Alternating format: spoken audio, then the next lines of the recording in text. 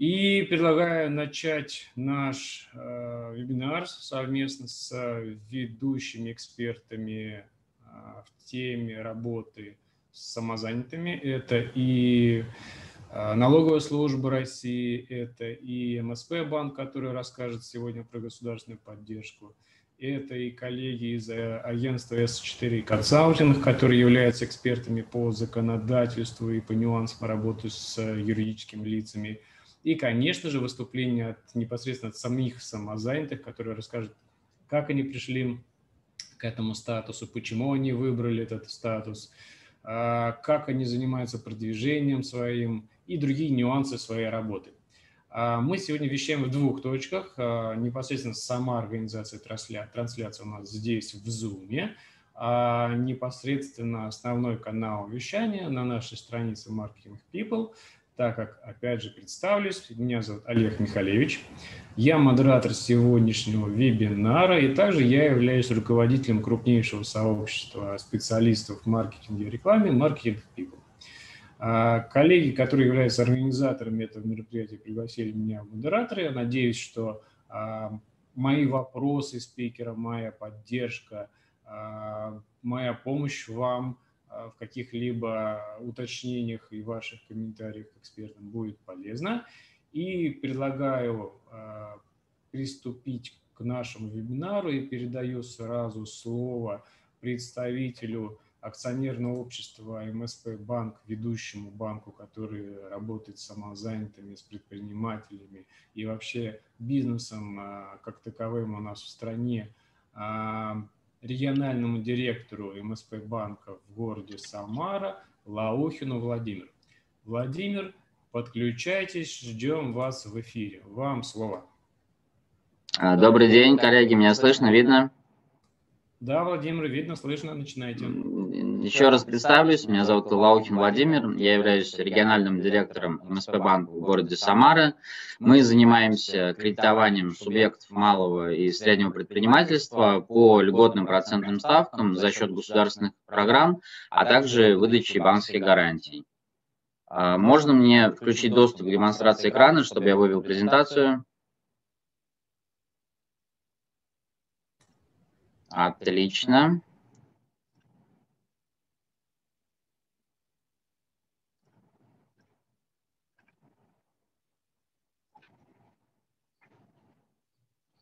Так, презентация пошла? Да, спасибо, все видно. Все, тема нашего сегодняшнего вебинара – это кредитование самозанятых. Я сейчас вкратце расскажу про наш банк, а, что мы себе представляем, и какие у нас есть продукты для кредитования и как раз государственной поддержки самозанятых. Мы являемся на 100% государственным банком. Единственным нашим акционером является корпорация МСП. Это Федеральный институт развития в сфере поддержки малого и среднего предпринимательства. На 100% также государственная структура. Учреждены мы в 1999 году. А, на слайде видите этапы развития банка. В 2017 году банк очень активно начал расширять э, свою региональную сеть, открывать региональные представительства. Таким образом, в 2018 году было открыто региональное представительство в городе Самара. В настоящий момент э, покрытие составляет 47 э, таких вот представительств, и до конца года планируется их увеличение до 50. Мы находимся, как я уже говорил, в Самаре, работаем по Самарской, Пензенской и Саратовской области, вот а, наши территориальные закрепления. У нас э, наивысшие рейтинги ведущих агентств, имеем универсальную лицензию Банка России и очень активно работаем на рынке кредитования. А, сам продукт, что он из себя представляет? А, условия предоставления кредита, то есть цель кредитования – это развитие предпринимательской деятельности – требования к заемщику – это либо физическое лицо, либо индивидуальный предприниматель, который э, выбрал налоговый режим, налог на профессиональный доход. Э, у заемщика должна отсутствовать отрицательная кредитная история по БКИ, и доход от текущей деятельности должен покрывать расходы по платежу по кредиту, который включает сумму погашения основного долга и процент. Сумма кредита для самозанятых у нас выдается до 5 миллионов рублей – хочу обратить внимание, что в настоящий момент нет требования к сроку регистрации самозанятого. То есть есть два варианта. Первый вариант, если самозанятый прям зарегистрирован, ну, грубо говоря, там вчера, позавчера, вот прям вот недавно, то тогда мы для того, чтобы подтвердить доход, то есть мы же должны посмотреть лимит кредитования рассчитать. А кредит, сумма кредита рассчитывается исходя из доходов самозанятых, поэтому так как он зарегистрировался совсем недавно, тут два варианта. Первый вариант, когда самозанятый помимо а, работать самозанятым, работает где-то еще по найму, и у него есть возможность подтвердить свои доходы справкой 2 НДФЛ, то есть он одновременно и официально трудоустроен, и является самозанятым, тогда мы можем э, рассмотреть доходы по справке 2 НДФЛ, по э, найму, и посчитать лимит, исходя из данных цифр. Либо второй вариант, если официального трудоустройства по найму нет, и э, предприниматель совсем недавно зарегистрировался самозанятым, а, тогда нам надо будет подождать три месяца, пока самозанятый вот три месяца поработает, для того, чтобы за последние три месяца мы могли по справке а, личного кабинета налогоплательщика посмотреть его доходы. Срок кредита у нас до 1 миллиона рублей до 36 месяцев. До конца года у нас действует специальная акция, то есть сумма увеличена до 2 миллионов рублей. А, с 1 января предварительно будет опять возвращена до 1 миллиона. И э, в настоящий момент э, действуют особые условия до конца года. То есть у нас кредит беззалоговый для самозанятых в сумме до 1 миллиона рублей. До конца года также действует специальная акция, то есть до 2 миллионов рублей э, кредит является беззалоговым. Э, соответственно, с 2 до 5 миллионов рублей рассматриваем уже обеспечение. Программа стартовала у нас в банке в июле текущего года. А, по ставке 7,75. Сейчас ставка уже была понижена, то есть сейчас ставка составляет 6,25% годовых, и я считаю, что это очень хорошее рыночное предложение, то есть таких ставок для кредитования без залога ну, на рынке по сути нет. А, помимо а, кредитования на цели развития предпринимательской деятельности, мы можем еще рефинансировать действующие кредиты физических лиц, которые применяют вот этот специальный налоговый режим, налог на профессиональный доход, э, сумма кредита тогда будет равна не более суммы рефинансируемого кредита или кредитов по данным БКИ, размер также э, до 1 миллиона рублей э, по стандартному продукту и до 2 миллионов рублей в рамках акции до конца текущего года.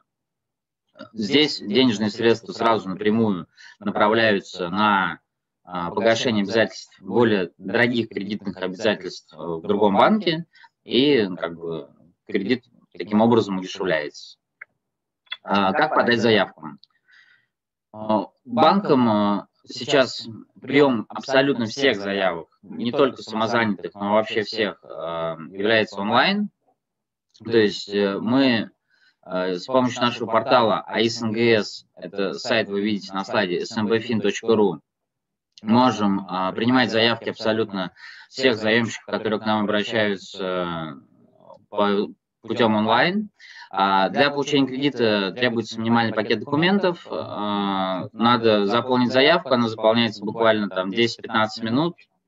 Анкета заполняется порядка 30 минут, и добавление документов тоже забавляет не более 30 минут. То есть, в принципе, там в рамках часа можно подать заявку и отправить на рассмотрение. По всем кредитным продуктам мы работаем с помощью УКЭП, усиленной квалифицированной электронной подписи, но для того, чтобы подать заявку для самозанятых, э, получение УКЭП требуется только уже на этапе заключения кредитного договора. Тоже такая сделана как бы небольшая акция. То есть мы работаем с юридическими лицами, с ИП и с ООО и УКЭП просим оформить сразу для того, чтобы уже на этапе заведения заявки подписывать все документы и направлять в банк. Для самозанятых тоже сделано вот это вот как спецпредложение. УКЭП получается только в конце, а, когда уже необходимо подписать кредитный договор. То есть для получения кредита посещение офиса банка не требуется вообще. Все идет в онлайне. А, в целом по продуктам у меня все. На слайде видите наши координаты. То есть работаем, можно сказать, 24 на 7. Вот мобильный телефон у нас специально выделен сотрудник, э, зовут его Иван Храмцов, региональный менеджер. Данный сотрудник как раз специально выделен для а, помощи в заведении заявок для самозанятых, то есть можно ему обратиться, а, позвонить на сотовый телефон, написать почту, он и поможет завести э, заявку, поможет прикрепить документы, если будут какие-то вопросы, то есть может помочь заполнить анкету, то есть полное сопровождение от А до Я до момента получения кредита. Также мои координаты видите на сайте, если э, ну, можно меня легко найти по телефону, в почте, во всех соцсетях, во всех мессенджерах, везде есть, готовы помогать и э, готовы помогать э, как бы самозанятым э, обращаться в банк, получать кредиты. У меня все. Если есть какие-то вопросы, готов ответить.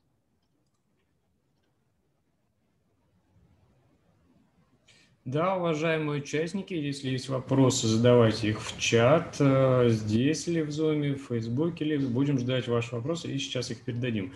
А я пока мы ожидаем вопросов, позадаю дополнительные вопросы от себя. Владимир, а есть ли какие-то другие варианты, например, кредитования? Там, а, не только тогда, когда уже человек является самозанятым, а когда он, например, только собирается таковым стать? Ну, опять же, вот я говорил уже об этом, да, есть такой вариант, но этот вариант есть только тогда, когда человек может подтвердить свой доход еще как-то, да, то есть если он только вот вчера, грубо говоря, зарегистрировался самозанятым и продолжает работу по найму, и может нам предоставить справку 2 НДФЛ. То есть мы можем за последние три месяца посмотреть доходы по справке 2 НДФЛ и, исходя из этих доходов, рассчитать лимит.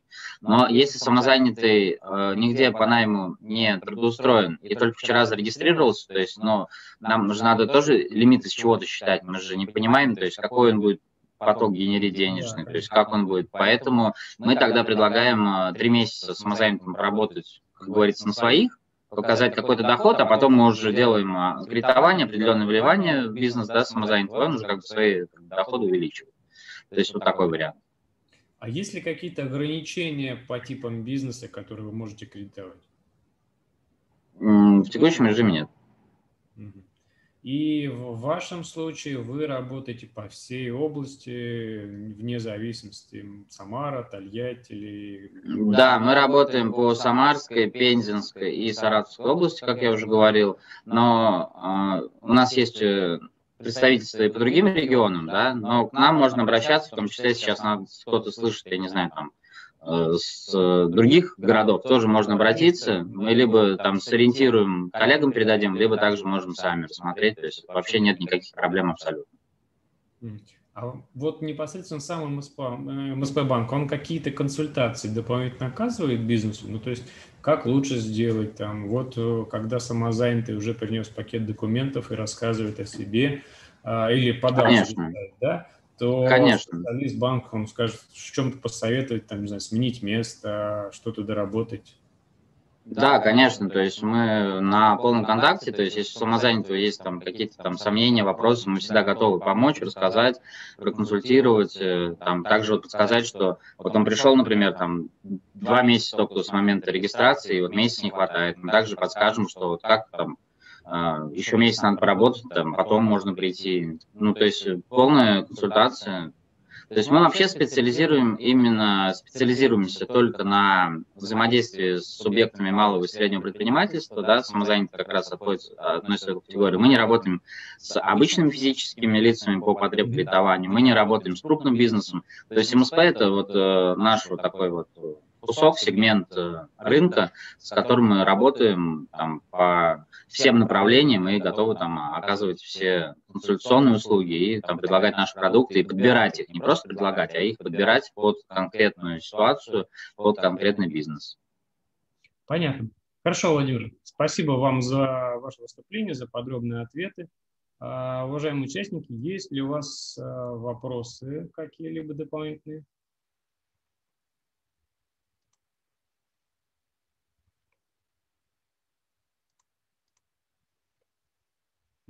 Хорошо, вопросов будем считать пока нет. Если какие-то будут позже, мы тогда их Владимиру передадим. Спасибо, Владимир. Хорошо, а, спасибо. И мы плавно переходим к нашему следующему спикеру, который является, так сказать, одним из главных звеньев а, в работе самозанятого. А, к, организ... к этой организации очень много всегда вопросов, много уточнений.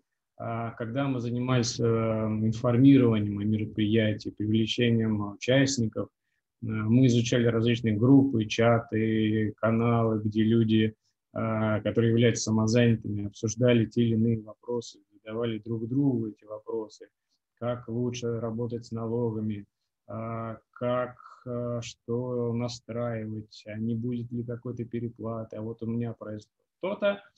И вот сейчас мы сможем задать все эти вопросы как раз Нине Васильевне Васляевой, которая является представителем а, Управления Федеральной налоговой службы России а, по городу Самаре. Нина Васильевна, подключайтесь, ждем вас в эфире.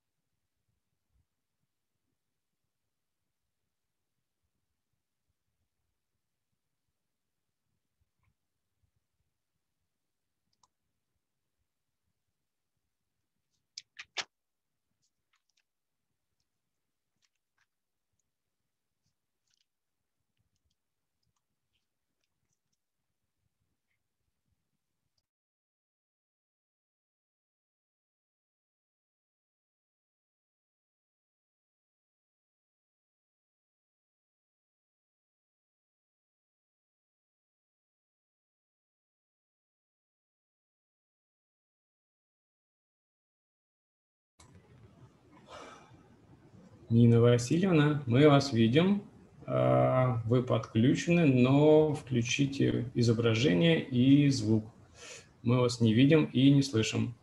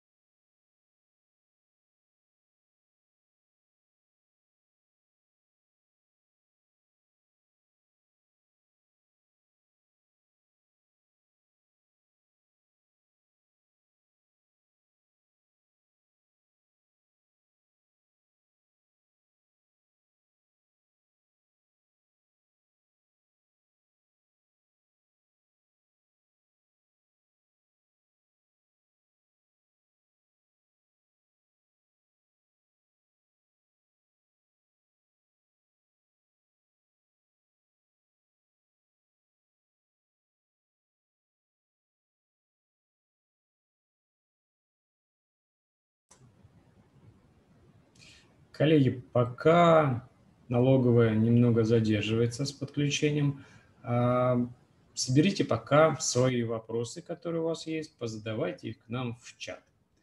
А, и мы как раз, когда специалист к нам подключится, сможем а, оперативно всем им задать насущные вопросы, как по ходу их выступления, так и сразу по его окончанию.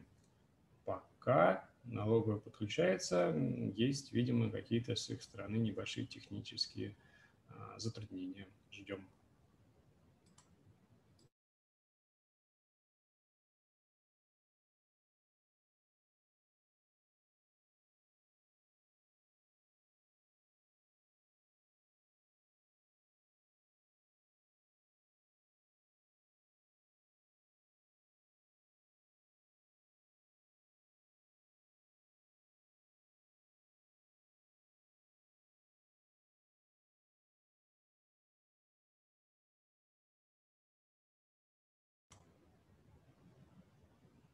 Так, Нина Васильевна, видим вас, но камеру желательно чуть-чуть пониже и включить звук.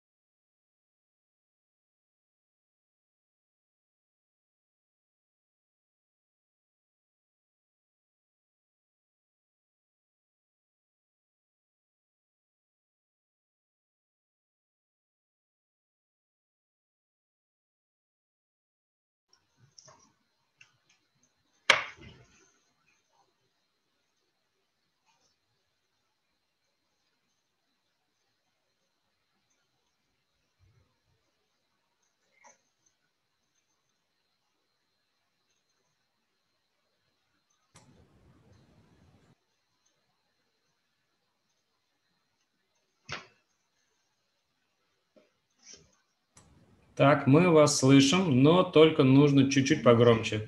Слышим, видим и камеру немножко пониже.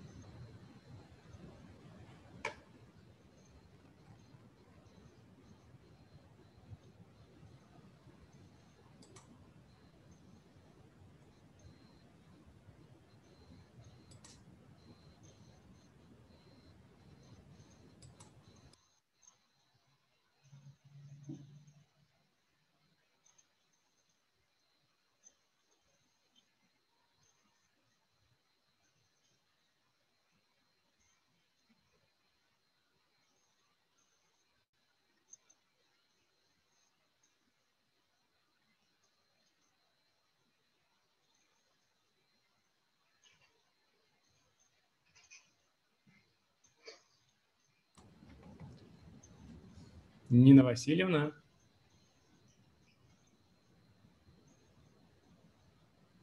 Коллеги из налоговой службы, мы вас ждем.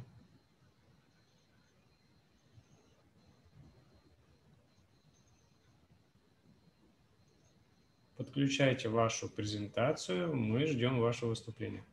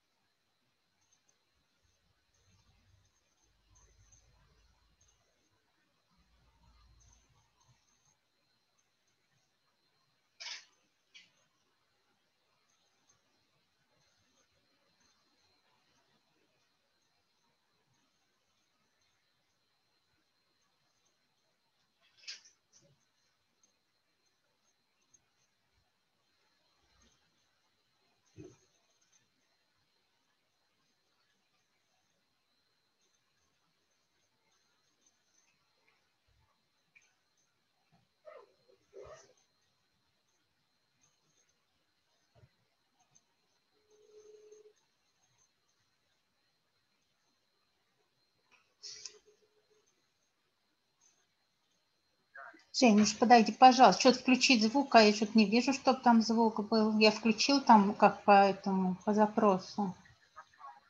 А? Идете? Ага.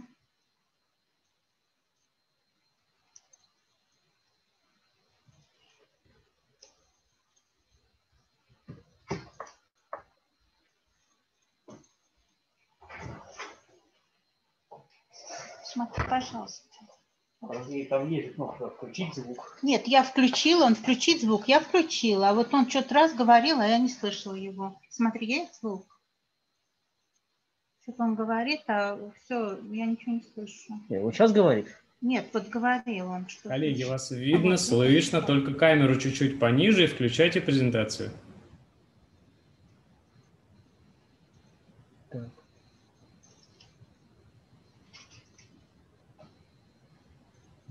Мы вас прекрасно видим.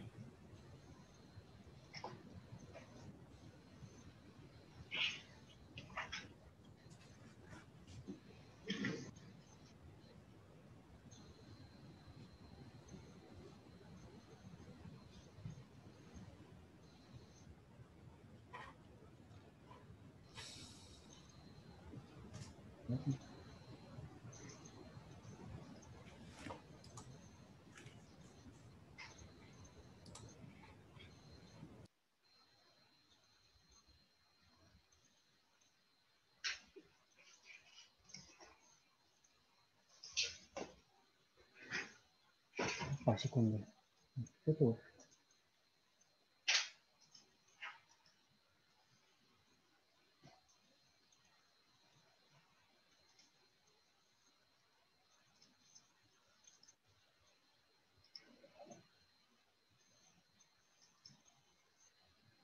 Ras, ras, ras, ras, ras.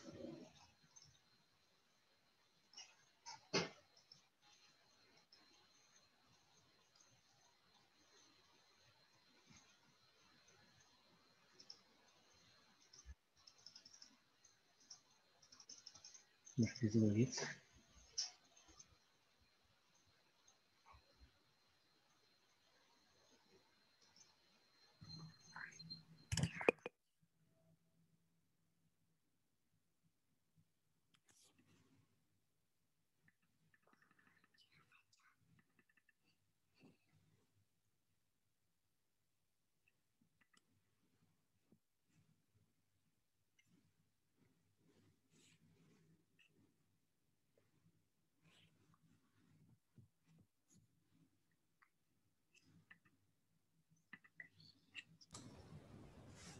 Друзья, извиняемся за небольшую техническую накладку. Видимо, налоговая пока недостаточно хорошо вошла в дистанционный режим с использованием трансляций. А, несколько минут, надеюсь, 2-3 максимум, и они будут вместе с нами и смогут рассказать свой контент.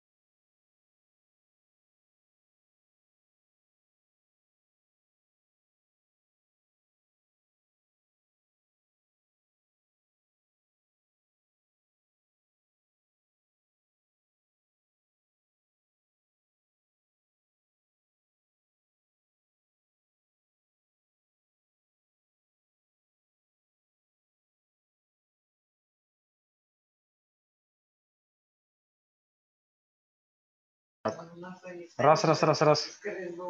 А, а что-то вас теперь не видно. Ну, включ- включайтесь.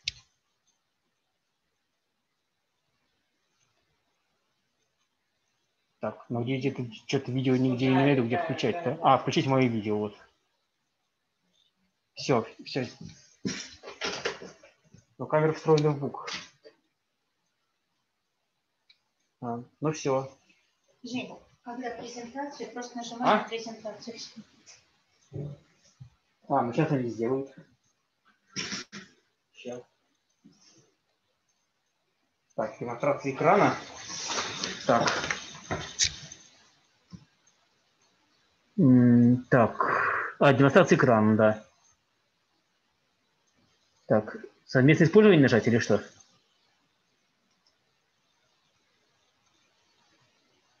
Так. Ну вот, презентация на флешке. Открывать презентацию пока нужно.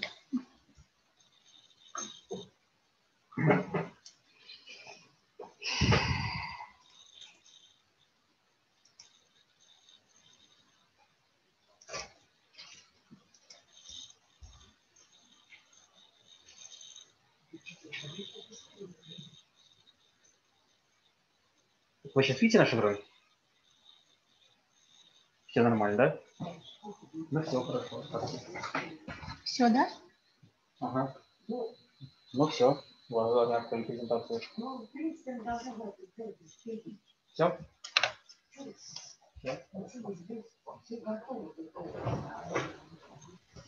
И, наконец, мы подсоединили наших коллег. Нина Васильевна, добрый день. Вам Добрый слово, день. можете начинать рассказывать. Доброго дня всем, уважаемые коллеги. Во-первых, хочу поздравить вас с наступающим всем Новым годом, всех с Новым годом, пожелать вам здоровья, вам и вашим близким, чтобы год наступающий был намного легче, чем год уходящий 20-й.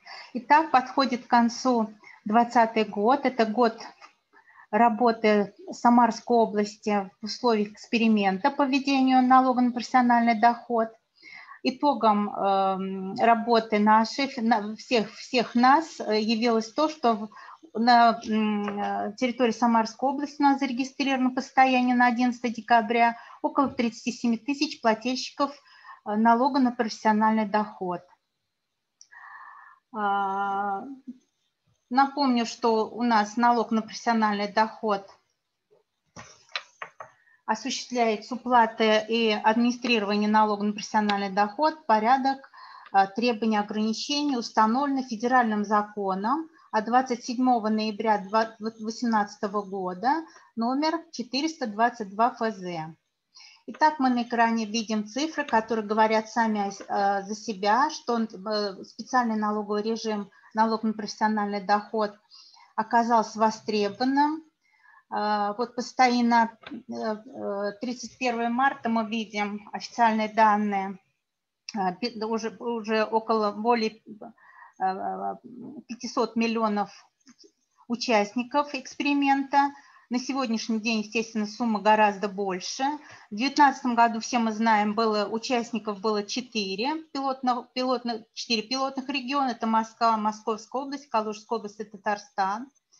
А, С 1 января 2020 года, как я уже сказала, присоединилось 19 регионов, включая Самарскую область. С 1 июля у нас все остальные регионы а, законами субъектов соответствующих были переведены на уплату НПД.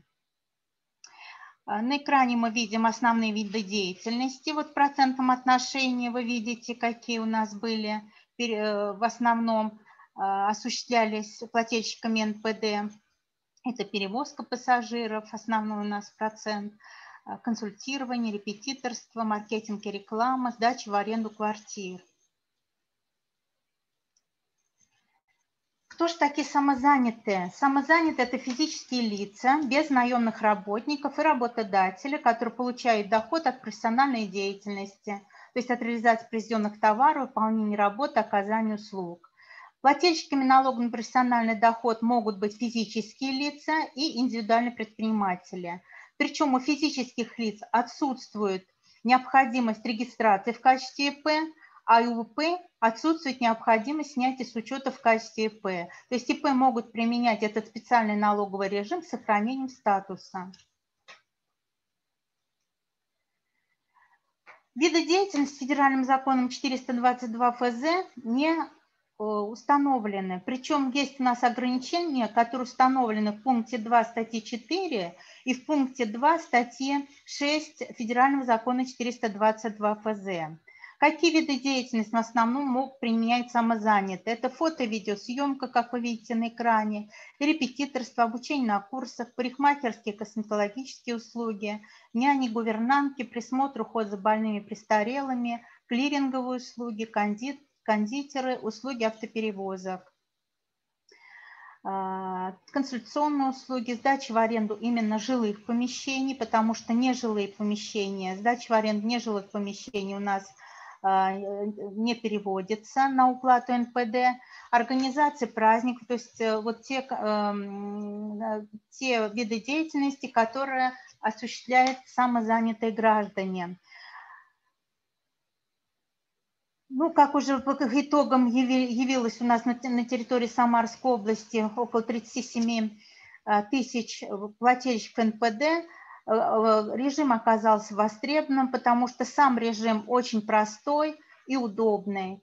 И направлен в основном, конечно, на будущее поколение, чтобы прививать подрастающему нашему поколению культуру взаимоотношений с налоговыми органами, с государством в отношении уплаты налогов. Что было раньше? Это эм, высокие эффективные ставки при низких доходах. То есть налог на НДФЛ у нас все мы с вами знаем 13%. Если это упрощенная система налогообложения применяли э, э, индивидуальные предприниматели, это 13, ой, 15 э, доход минус расходы, 6% доходы административного, э, адми, ГНВД, который у нас э, уже потерял свою актуальность, 15%. Э, То есть все эти, налог, все эти режимы налогообложения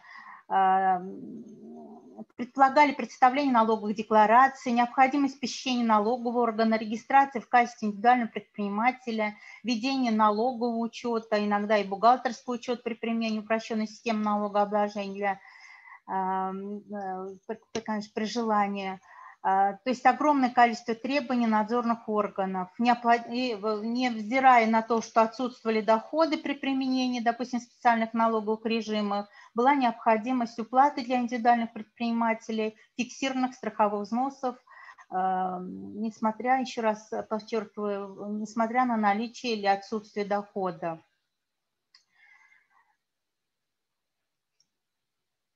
Какие преимущества налога на профессиональный доход? Ну, во-первых, нет необходимости посещать налоговую инспекцию, то есть э, стать налоговым, с налоговым участником эксперимента, стать плательщиком НПД можно через онлайн-регистрацию. Как, как мы уже в предыдущем слайде говорили об этом, нет необходимости регистрировать физическому лицу и получать статус ИП нет необходимости представлять отчетность, то есть отсутствует какая-либо отчетность. И самое главное, наверное, актуальное, можно не применять, и можно не применять, отсутствует необходимость применения кассовых аппаратов, потому что вот именно вот э, приложение «Мой налог», которое впоследствии мы немного будем про это говорить, заменяет э, кассовые аппараты низкая ставка. Вместо 13% для физических лиц предусмотрена ставка 4%. Это когда у нас заказчиками являются физические лица. И 6%, когда заказчиками являются э, либо юридические лица, либо индивидуальные предприниматели. Круглосуточное взаимодействие с налоговыми органами, открытый IP. И новое понятие у нас открылось для плательщика НПД, как э, налоговый капитал. То есть государство предоставляет возможность э, налогового вычета или бонуса э, на развитие самозанятого гражданина.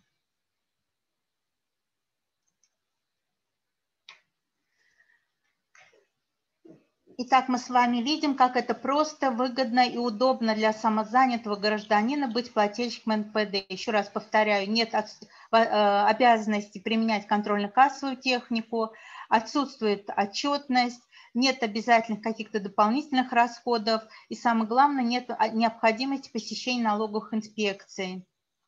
Все документы, все общение с налоговыми органами происходит через мобильное приложение «Мой налог».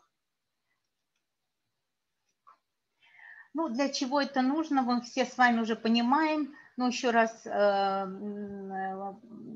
повторимся, это легкий безболезненный выход из тени, соблюдение закона, избежание штрафов, судебных разбирательств в результате незаконной предпринимательской деятельности, повышение доверия со стороны клиентов, улучшение репутации.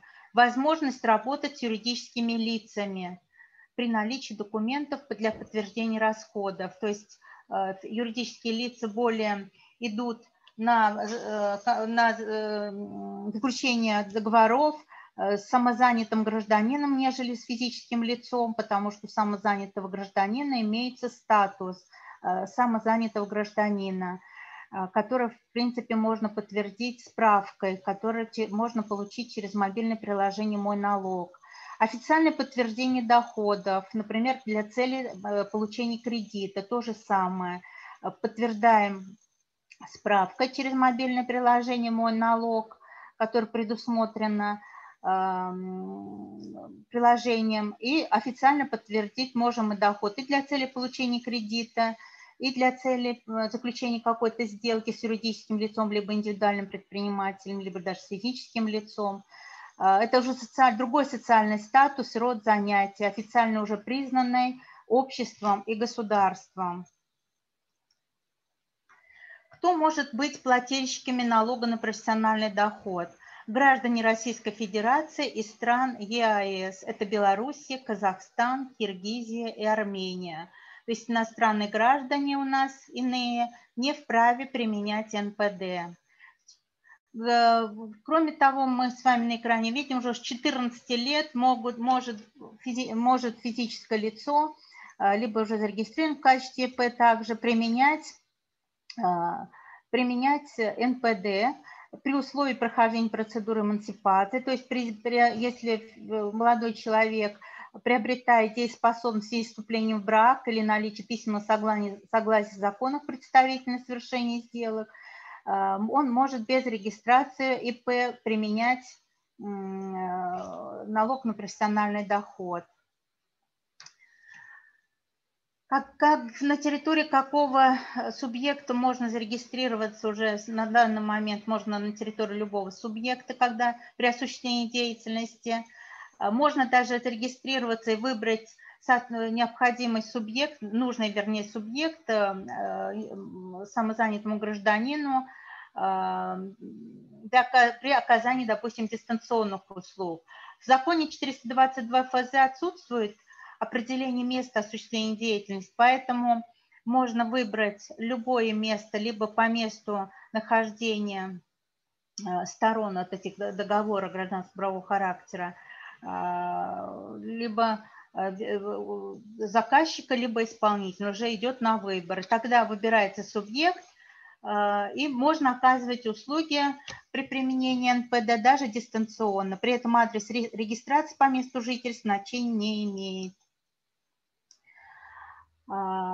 Итак, повторюсь еще, что виды деятельности у нас не определены федеральным законом 422 ФЗ, но есть ограничения – Э, кто, это статья 4 закона 422 ФЗ пункт 2, э, кто не вправе применять НПД.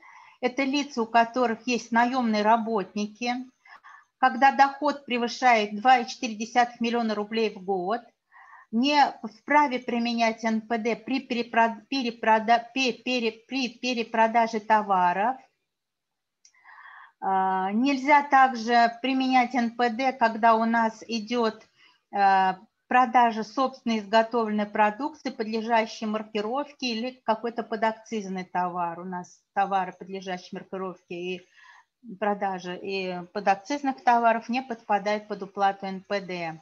Не подпадает под уплату НПД посредническая деятельность, сдача в аренду нежилой недвижимости, то, мы, то, мы, то есть мы с вами видим, что предыдущем слайде, что если сдается в аренду э, жилая недвижимость, то применять НПД можно, даже госслужащий, муниципальный служащий. Когда идет сдача в аренду нежилой недвижимости, применять НПД в отношении этого вида деятельности нельзя. Для э, ИП у нас самое главное условие нельзя совмещать режим НПД с иными специальными налоговыми режимами. Это упрощенная система налогообложения, патентная система налогообложения. А, то есть если налогоплательщик все-таки принимает решение, применяющий ранее иные специальные налоговые режимы, перейти на НПД, необходимо в течение 30 дней сняться с учета в качестве применяющих специальный налоговый режим, такие как УСН, ПСН. А, в противном случае налоговые органы сами снимают после, по истечении вот этого вот предельного срока 30 дней. Также физические лица не могут осуществлять при применении НПД предпринимательскую деятельность, облагаемую налогом э, на доходы физических лиц. То есть нельзя одновременно быть плательщиком НПД и плательщиком иных специальных налоговых режимов, а также нельзя уплачивать НПД в отношении предпринимательской деятельности. Когда идет разовая сделка, то в принципе можно, когда одна единственная, то она облагается у нас страховыми взносами, соответственно, работодателя и э, налогом на э, доходы физических лиц. Какие виды доходов у нас не подпадают по НПД? То есть что не является объектом налогообложения. Такие виды э, доходов у нас поименованы в пункте 2 статьи 6 закона э, федерального 422 ФЗ.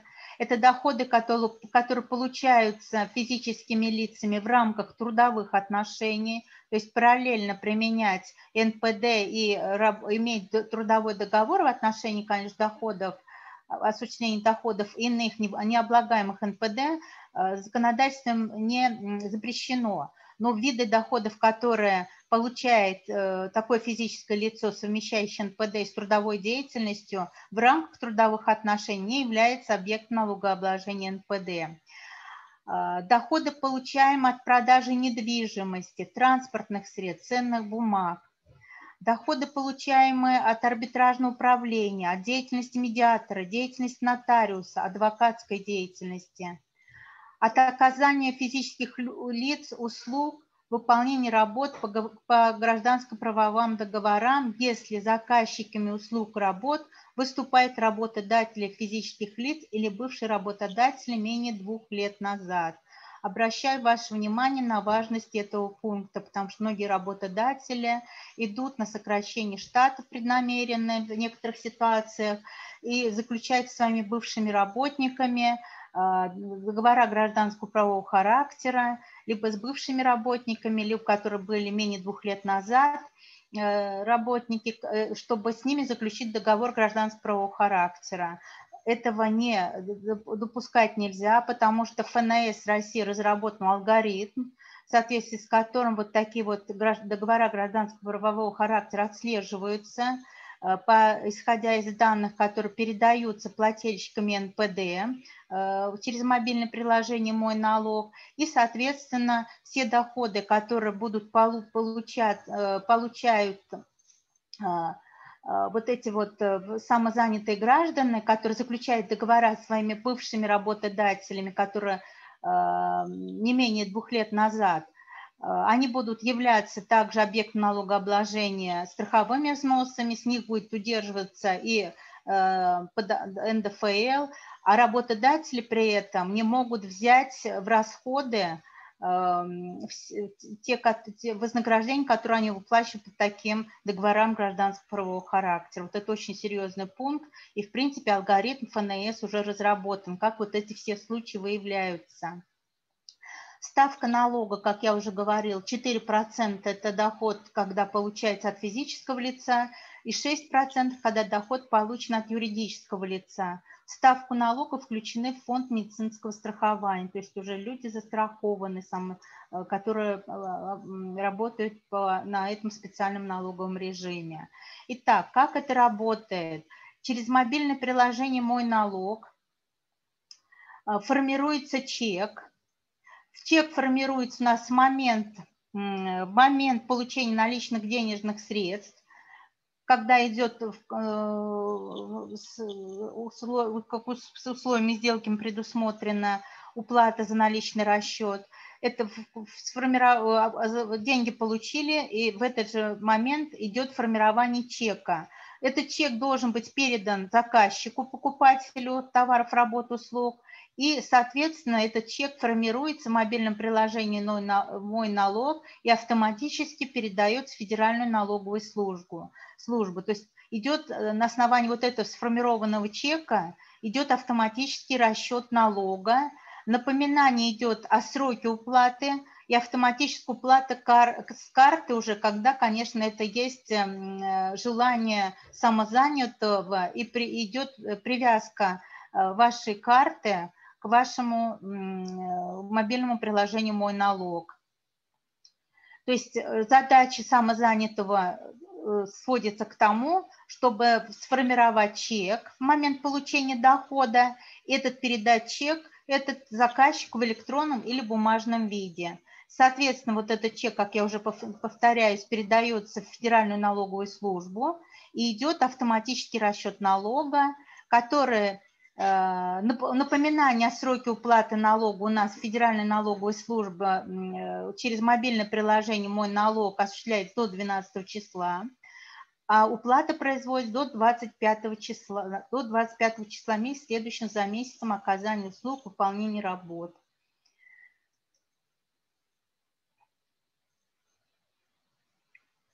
Вот по такой схеме вы видите на экране добавление новой продажи в приложение, указывается наименование товара или услуги, вводится ее стоимость, указывается ННН, если услуга оказана для юридических лиц. Для физических лиц это не обязательно. Формируется чек и обязательно передается этот чек клиенту. Это обязательное условие, потому что в случае непередачи клиенту у вас могут быть проблемы, могут в любой момент об этом сообщить. И вообще это просто предполагает э, как бы добропорядочность отношений э, между самозанятым гражданином и государством. И передается чек, и на основании этого чека формируется доход. И, соответственно, исходя из этого дохода, формируется налогооблагаемая база по НПД – идет начисление налога, то есть в автоматическом режиме. Самому самозанятому считать ничего не нужно.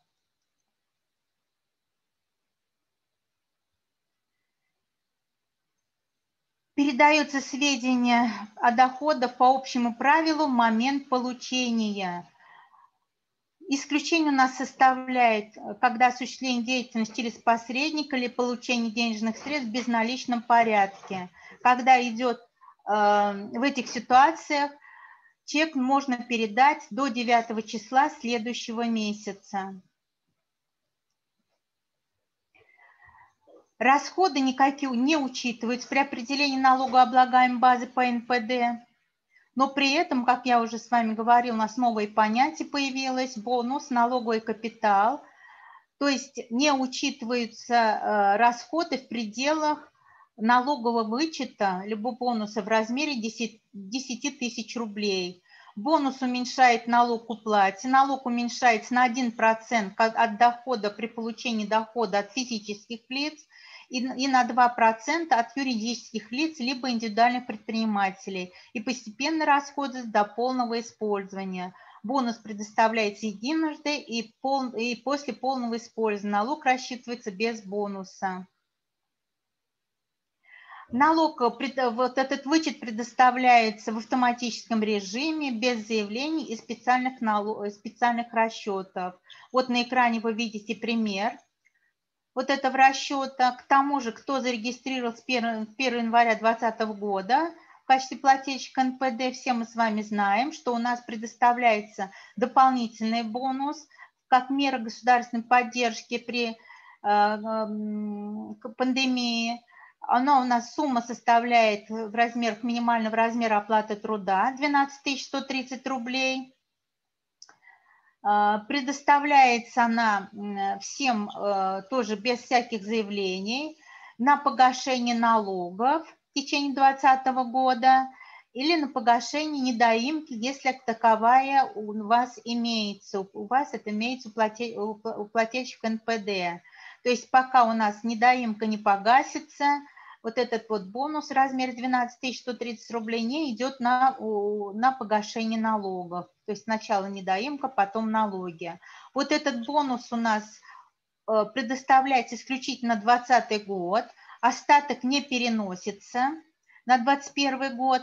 Но если вдруг у вас остался остаток э, невыбранный на, по налоговому вычету, то вот этот налоговый вычет, он у нас идет переходящим остатком по состоянию на 1 января 2021 года. А вот еще раз обращаю ваше внимание, что 12 135 130 рублей, оно у нас на 2021 год не переносится. Это исключительно погашение ваших расходов на уплату налога, еще раз, при наличии недоимки, именно за 2020 год. Кроме того, кто у нас был в эксперименте в 2019 году, у нас тоже где-то около за, за 30 тысяч у нас был плательщиков, э, которые зарегистрированы по каким-либо основам на территории Самарской области, осуществляли свою деятельность на территории вот этих четырех регионов, включенных в эксперимент, еще раз э, в Татаре, либо Москва, Московская область, либо в Калужской области, они тоже в автоматическом режиме получали возврат уплаченного налога на профессиональный доход за 2019 год, без всяких каких-либо заявлений со стороны э, плательщика НПД. А если вдруг э, плательщик НПД снялся с учета по каким-либо причинам, то, но не выбрал при этом налоговый бонус свой, налоговый вычет ну, в остатке от 10 тысяч рублей, то когда он в следующий раз надумает, к примеру, или уже в следующий раз э, встал на учет или планирует встать на учет, то этот вот налоговый вычет у него э, как бы возобновляется, он никуда не пропадает, и вновь, вновь до полного предоставления он будет э, э, уменьшать сумму налога до полного его погашения. Итак, мы уже с вами говорили, что уплачивать НПД необходимо ежемесячно до 25 числа следующего месяца до 12 числа налогу ФНС России автоматически уведомляет о сумме начисленного налога. Уплатить можно автоматически привязав данные банковской карточки к мобильному приложению, либо оплатить можно самостоятельно банковской карточкой через мобильное приложение, распечатав квитанцию с QR-кодом. То есть очень удобно все.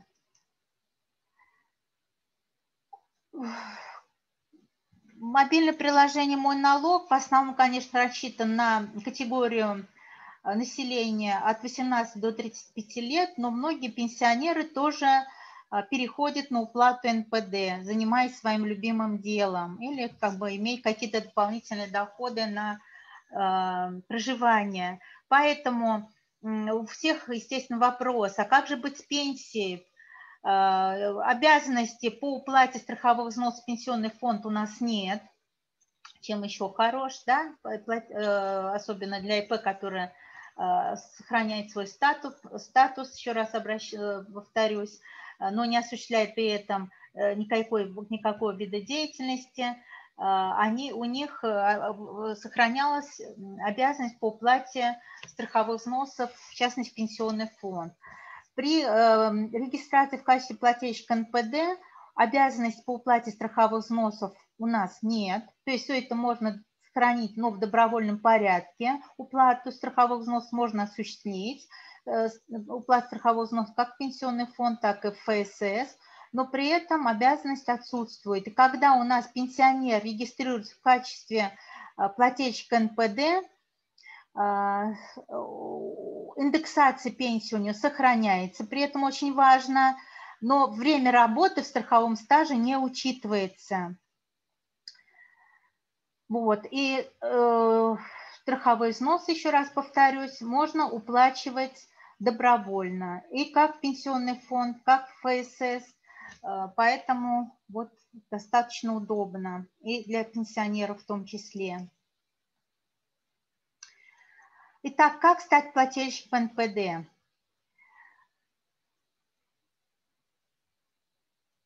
Для того, чтобы зарегистрировать в качестве НПД, необходимо подать обязательно заявление о постановке на учет. Через мобильное приложение, во-первых, через мобильное приложение «Мой налог», либо это через личный кабинет. Когда у нас идет регистрация через мобильное приложение «Мой налог», необходимо э, заполнить заявление в приложении в самом приложении, э, сфотографироваться э, там же в приложении «Мой налог» и скан копии паспорта. При этом, когда идет регистрация в качестве плательщика НПД через личный кабинет физического лица или индивидуального предпринимателя, нужен пароль от личного кабинета. Фото и скан, скан, копии паспорта не нужны.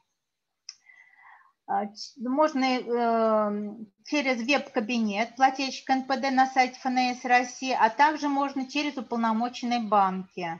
То есть вот в мобильном приложении «Мой налог» а, все вот эти вот уполномоченные банки или на сайте ФНС России, они у нас указаны.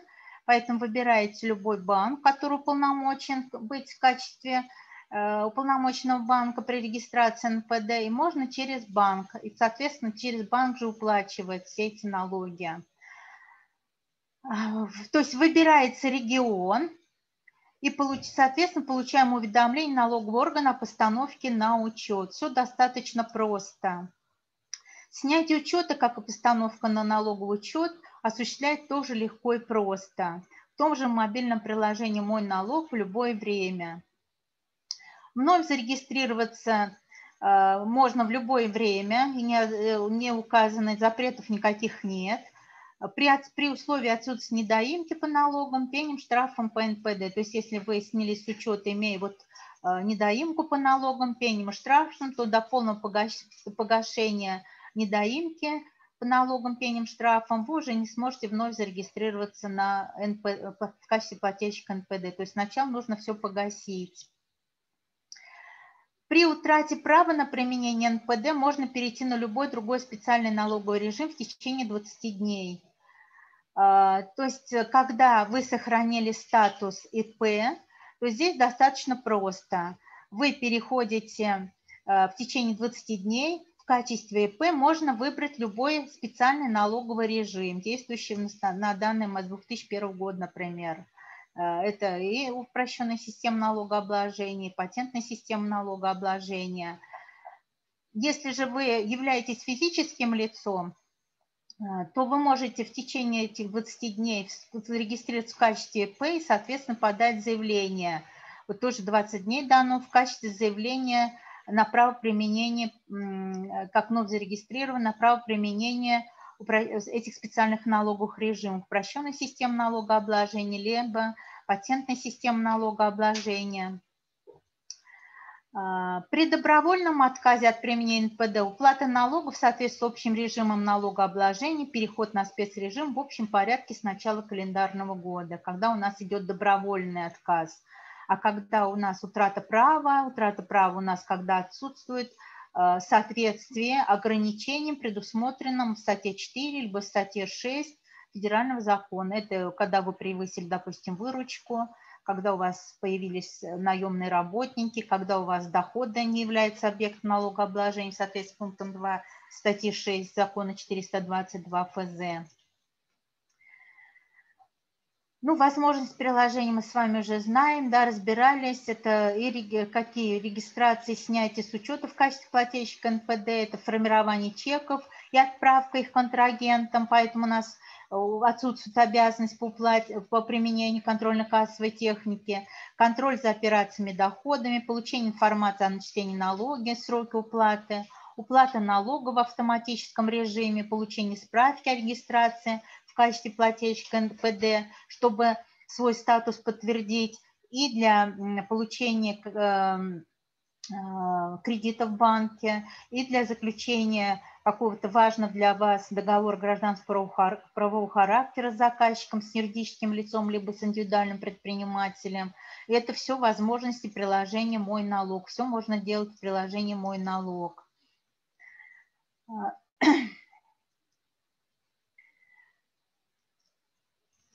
Ну, какие здесь вот могут быть возникать вопросы? Вопросов достаточно много, несмотря на простоту исчислений. В принципе, вопросы достаточно э, много задают. Можно ли работать по трудовому договору, одновременно платить НПД с доходов, не связанных с трудовой деятельностью? Да, у нас не запрещено. Э, самое главное, что доходы, которые получаете в рамках трудовой трудовой деятельности, они у нас не являются объектом налогообложения НПД, не подпадают под уплату НПД, а совмещать можно. Можно, за исключением, конечно, государственных муниципальных служащих, которые могут применять НПД только в отношении доходов, полученных от сдачи в аренду жилого помещения.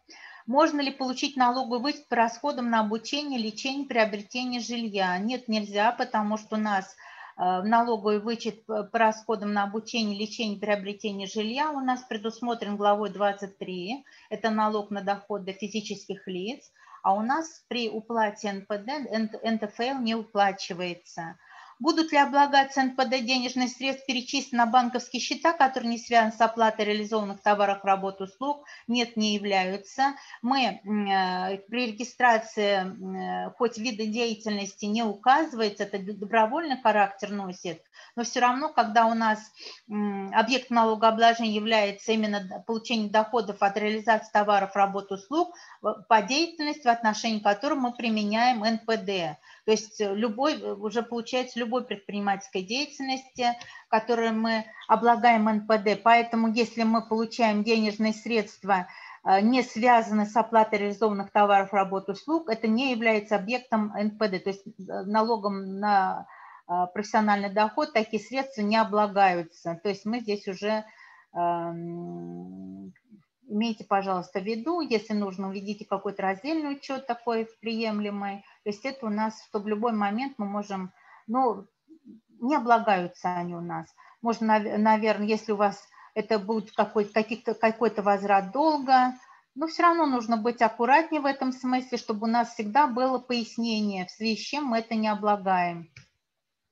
Если ИП встает на учет в качестве плательщика НПД, будут ли уплачены страховые взносы, это у нас предусмотрено в пункте 11 статьи 2 Федерального закона 422 в соответствии с этой нормой четко и ясно прописано, что отсутствует обязанность по уплате страховых взносов индивидуальным предпринимателям, которые а, не является, э, не, не нанимает наемных работников, не производит выплаты э, в адрес наемных работников. У нас, в принципе, с наемным работником вообще нельзя применять НПД. Поэтому, если ИП встает на учет в качестве плательщика НПД, то обязанность по уплате страховых взносов отсутствует, то есть не являются плательщиками. И когда только переходит Э, снова на специальный налоговый режим. И здесь с этого момента у нас уже у индивидуальных предпринимателей возникает обязанность по уплате страховых взносов именно с момента перехода э, после НПД на иные специальные налоговые режимы. Можно ли самозанятому осуществлять деятельность в арендованном помещении? Да, конечно, не возбраняется, можно и в арендованном помещении осуществлять деятельность. Если пенсионер зарегистрируется в качестве плательщика НПД, будет ли он получать компенсацию? Ну, то есть речь идет, наверное, все-таки о э, индексации пенсии. Индексация пенсии сохраняется, потому что стаж у нас не засчитывается, не включается страховой стаж. Поэтому пенсионер, занимаясь своим любимым делом, облагаемым НПД, продолжает получать пенсию, она индексируется. Есть ли разница, как самозанятый получает оплату за услуги наличным, безналичным э, способом? Разницы нет. Э, самозанятый может получить э, оплату за услуги как за наличный расчет и сразу в этот момент, в момент получения наличных денежных средств, он должен сформировать чек и передать, соответственно, в ФНС и передать покупателю, заказчику товаров, работ, услуг.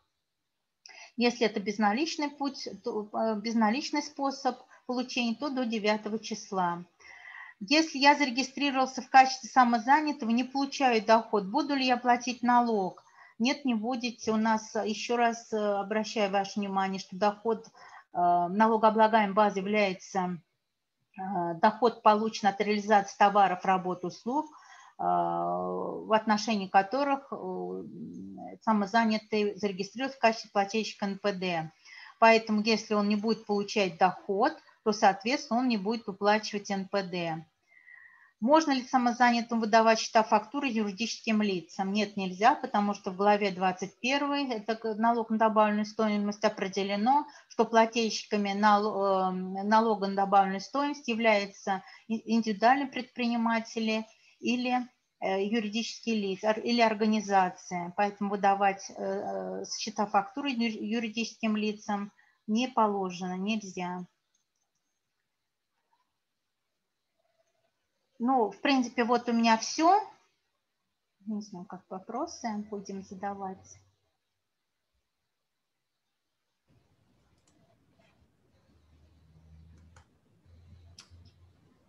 А, Нина Васильевна, да. был вопрос как раз а, пересылать ссылку на чек в СМС. Является ли передачей или это нужно как-то подтверждать дополнительно?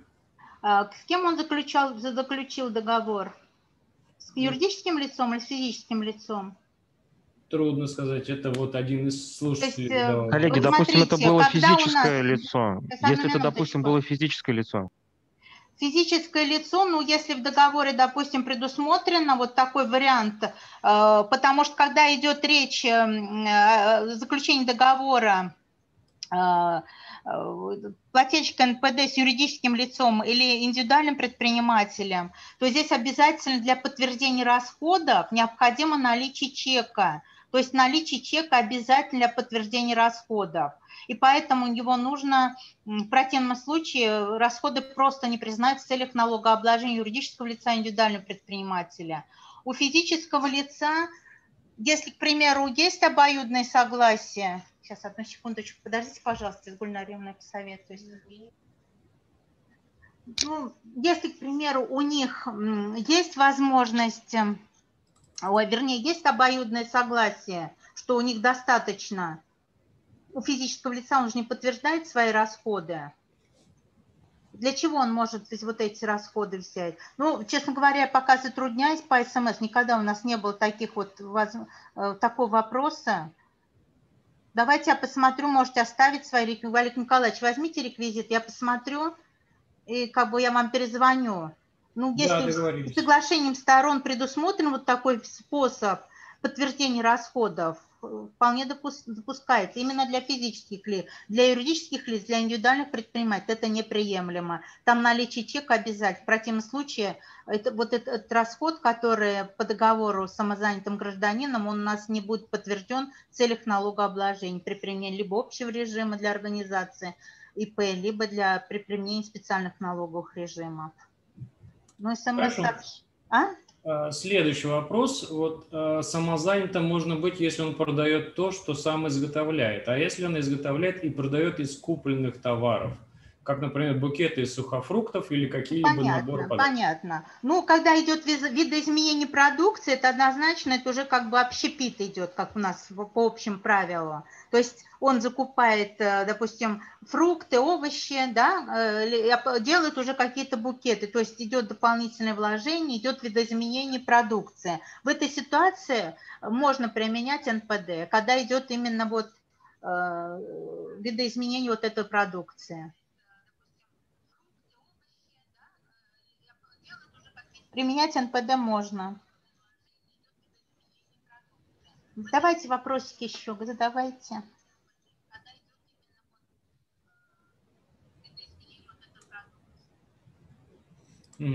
Хорошо. И вроде бы вы как раз про это разговаривали. И еще один вопрос на, на этот раз из, на этот раз из Фейсбука. Вы вроде бы про это рассказывали, но Давайте. хотелось бы окончательно, окончательно про это проговорить. Так, какой-то эхо у нас раздается. Посмотрите, у кого включен лишний звук, выключите, пожалуйста. А, вопрос, собственно, такой. Может ли самозанятый а, одновременно со своим статусом самозанятости работать по трудовому договору у другого работодателя?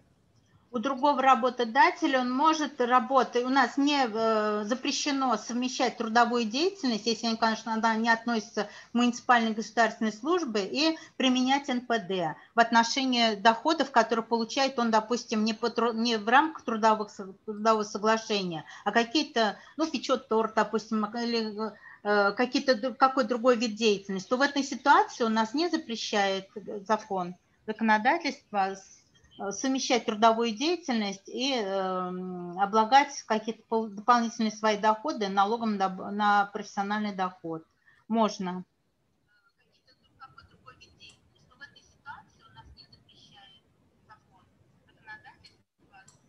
Я не слышу вопроса. Вы мне говорите, да? Олег Николаевич, озвучьте, пожалуйста, я не слышу вопроса. Это, это идет какое-то эхо. А, если физлицо произвело оплату на карту, можно ли выдать чек до 9 числа по принципу так же, как это применимо для юрлиц? Нет, нельзя, потому что у нас эм, э, электронный способ, сейчас прям, одну секундочку, э, наличный, вот электронный способ оплаты да, на карту приравнивается к наличным платежам. Сейчас, минуточку, одну секунду.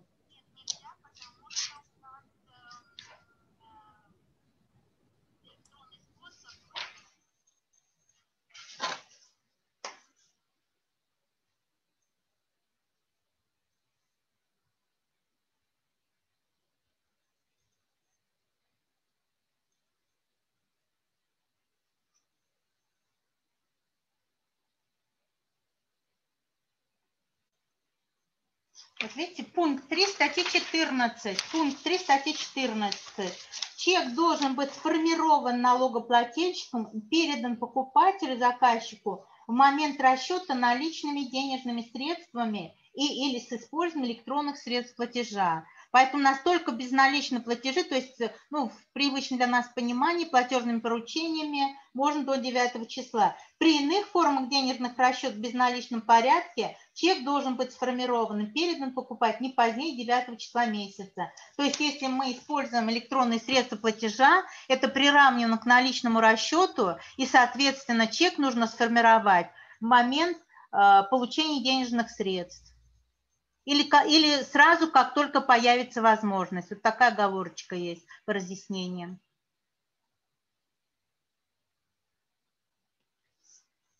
Если платеж прошел через страницу сайта? Через страницу сайта, э, тоже посредством электронной карты? Да. Ну, я считаю, что тоже момент или сразу, как только появится возможность. Не, через, нет, не до 9 числа.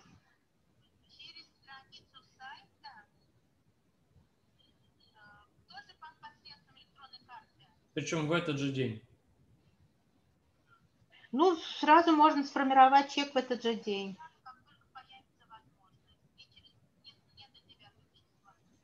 Потому что в момент расчета наличными держа, средствами или использованием электронных средств платежа. Хорошо, спасибо.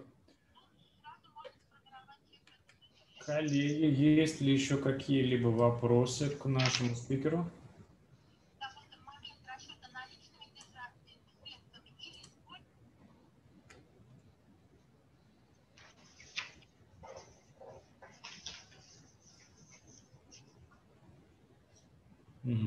Видимо, вопросы.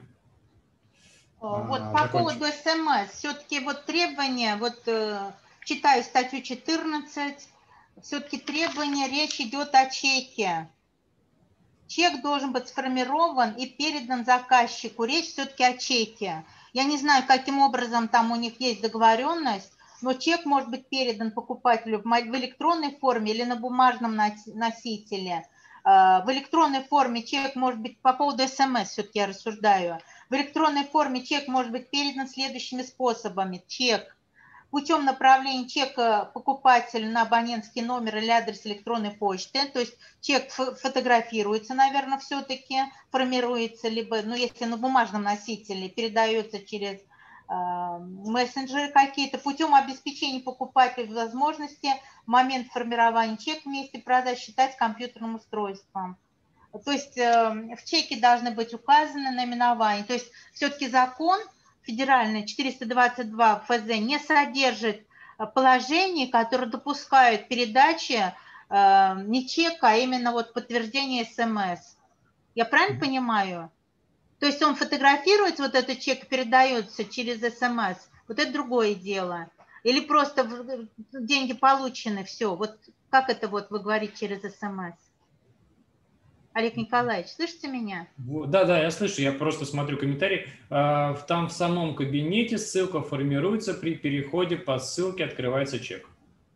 А, открывается все-таки чек? Ну, такое возможно. Это, конечно, можно. То есть наличие чека обязательно в любом случае. Не, не допускается там подтверждение, что да, я в деньги получил. Такого не может быть.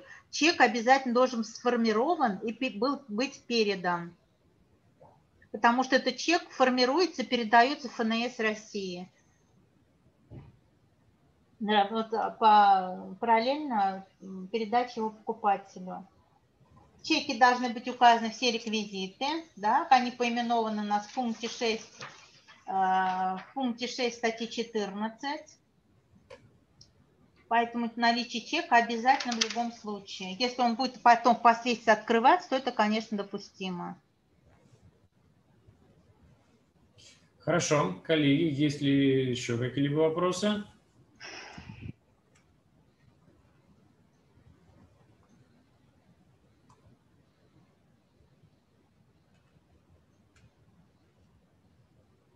И вопросов, видимо, пока больше нет. Если что-либо еще будет, мы тогда а, свяжемся.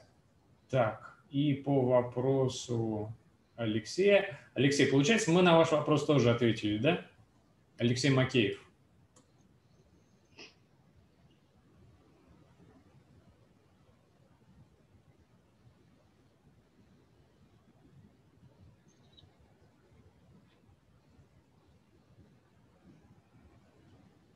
Ну, будем надеяться, что да. Нина Васильевна, спасибо вам за большое э, подробное выступление. Будем ждать вас на наш следующий вебинар 16 числа. А тематика такая же будет? Да, да, да, просто... Друг, другая... Контингент поменяется, да? Да, да, просто угу, Понятно. Угу, хорошо. Вот. А, а мы будем передавать слово нашему следующему спикеру, представителю компании S4 Consulting, который является одновременно с этим генеральным директором этой компании, Айгуль Шадрина. Айгуль, с нами ли вы? Готовы ли выйти в эфир?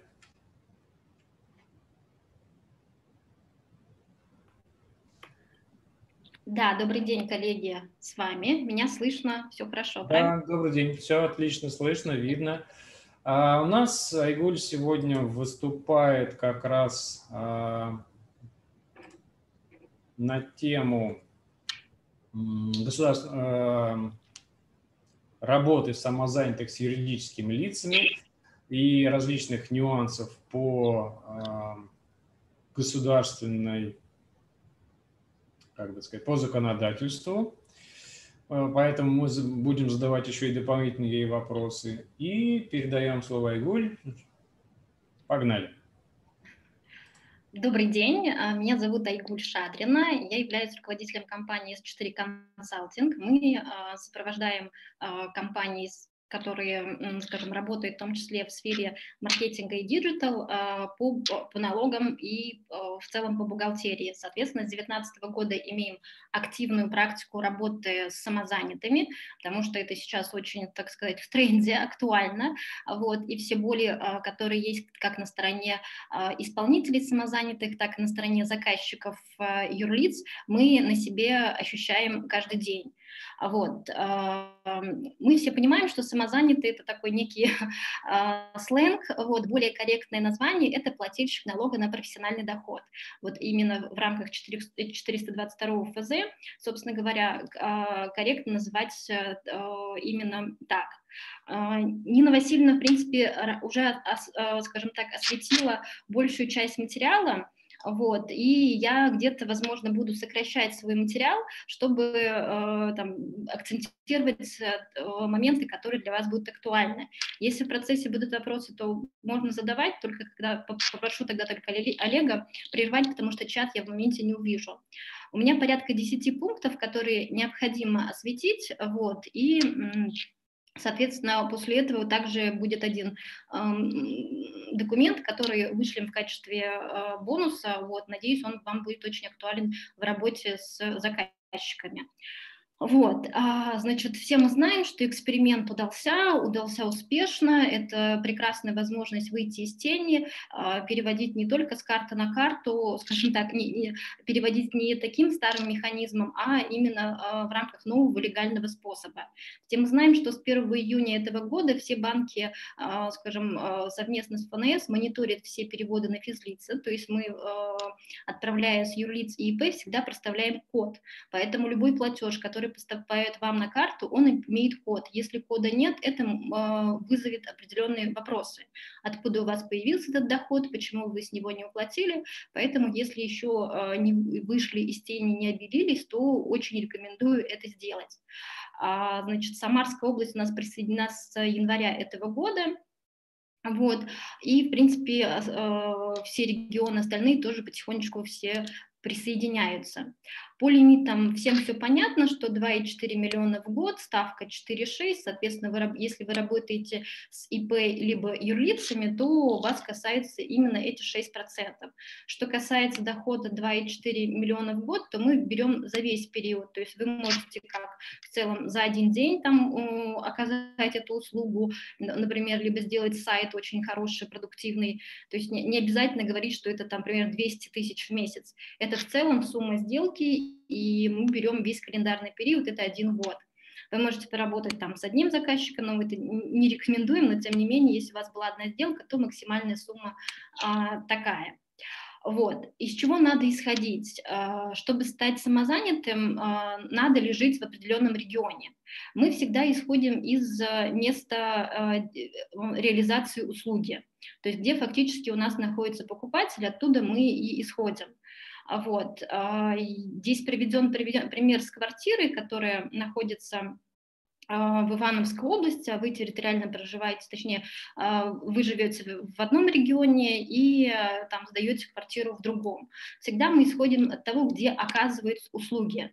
Соответственно, там и платим, скажем, там и можно применять самозанятость.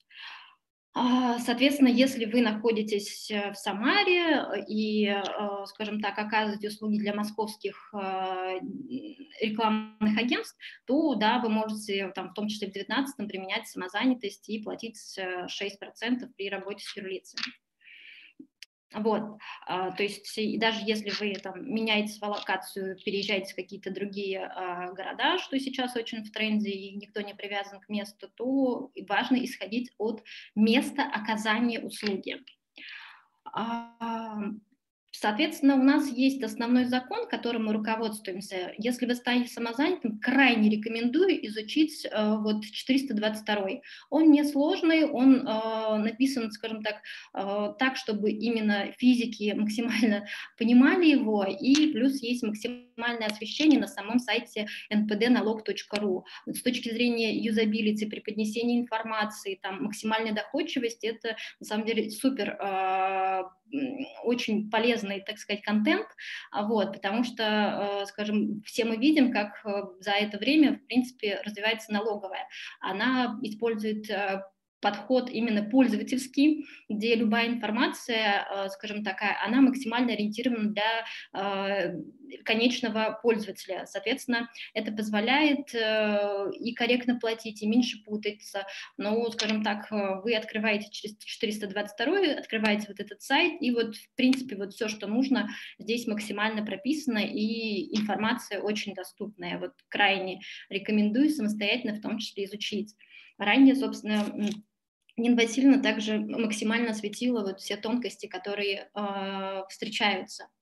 Плюсы, соответственно, в разы больше, можете работать с кем угодно, как угодно, э, скажем, все максимально просто, ничего сдавать не надо, заплатили, поехали, то есть у вас такая э, история, скажем, с точки зрения именно налоговой очень правильная. А вот. А, ограничения, да, присутствуют, да, есть запретные виды, на них сильно останавливаться не буду.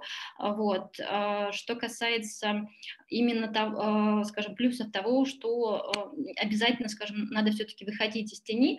По себе мы заметили такие запросы, как, например, вы приобрели автомобиль на 6 миллионов, а у вас по доходам всего там миллион рублей. Соответственно, в том числе у налоговой возникает вопрос, откуда взялись оставшиеся 5. Чтобы в дальнейшем там вам такие вопросы в том числе не задавали, если вы выходите из там, тени, соответственно, у вас уже есть некий трекинг, uh, уже есть понимание, откуда появлялись доходы, они, uh, соответственно, фиксируются в том числе uh, в вашей истории в приложении, и такие вопросы, они исчезают, вы находитесь в абсолютно легальном поле, и это максимально комфортно вот, в работе. По запретам, соответственно, их порядка 15 пунктов. Важно отмечу, скажем, что может быть именно в деятельности маркетологов, это, например, агентские договоры. А, когда, например, с Яндексом, либо с другими подобными сервисами, где идет, так сказать, перепродажа а, именно расходов на рекламу, вот, так вы не сможете работать, то есть если вы, предположим, являетесь а, тем, кто настраивает контекстную либо таргет, либо рекламу в соцсетях, соответственно, вот такие договоры с Яндексом вы, к сожалению, не сможете заключать. Вот. Здесь только именно обычные услуги, там, заказ сайта, там, копирайтинг, настройка каких-то личных кабинетов. Вот. Чаще всего рекламу оплачивает сам а, сам заказчик. Вот, с Фейсбуком, в принципе, это тоже с 2019 года весьма просто происходит. А вот, то есть в эту историю именно агентского договора я не рекомендую идти, точнее, и в целом нельзя э, подобное, скажем так, э, применять. То есть это у нас обычный договор оказания услуг, дальше рекламный мы детализируем там, что именно вы делаете. Кто может, то не может. Соответственно, большой упор э, тех, на вот изготовление товаров, товаров именно чужими усилиями, э, там маркировка, прослеживаемость товара, который также там, 2021 года активно внедряется, это все нельзя. Ну, соответственно, вот если мы делаем упор на нашу аудиторию целевую, это маркетологи и другие служители рекламы, соответственно, да, они могут.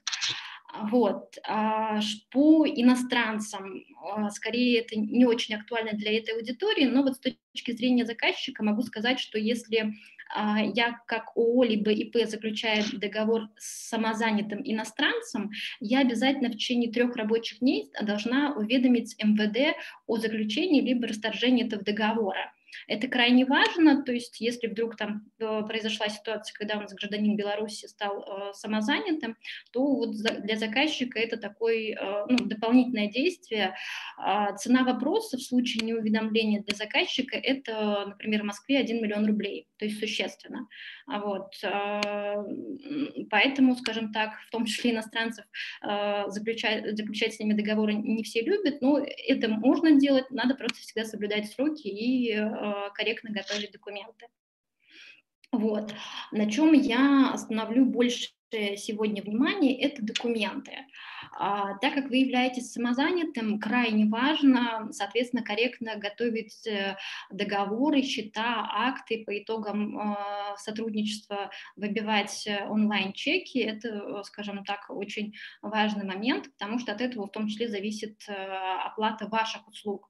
Какими бы ни были договоренности там в фейсбуках, либо в других там каналах, где вы договоритесь с клиентами, понятийно, не понятийно, но все-таки юридическое поле – это более а, корректное поле, где вы точно будете уверены, что ваши услуги будут оплачены. Соответственно, вы заключаете стандартный договор оказания услуг, где вы прописываете, что вы Иван, и, а, там, физическое лицо, Иванов Иван Иванович, а, плательщик налога на профессиональный доход, вот, и далее уже обговариваете все условия. Вот, а, соответственно, если предоплата, постоплата, это все вы фиксируете, сразу могу сказать, что вот с точки зрения заказчика наличие такого, договора всегда, скажем, такой момент э, рисков, то есть если вдруг э, заказчик не заплатит, а, он всегда боится судов, исполнительных листов, поэтому это уже там вас, в принципе, на правильный уровень выдвигает, и, э, скажем, это в том числе ваша репутация документация. Вот, это гарантия того, что вам заказчик точно оплатит. Вот э, всего четыре типа документов, соответственно, первый и второй можно совмещать. Договор счет есть такой, э, мы его вам вышлем в качестве бонуса, потому что он очень удобный, не надо платить большое количество документов, вот можно просто раб работать вот именно в рамках а, такого формата.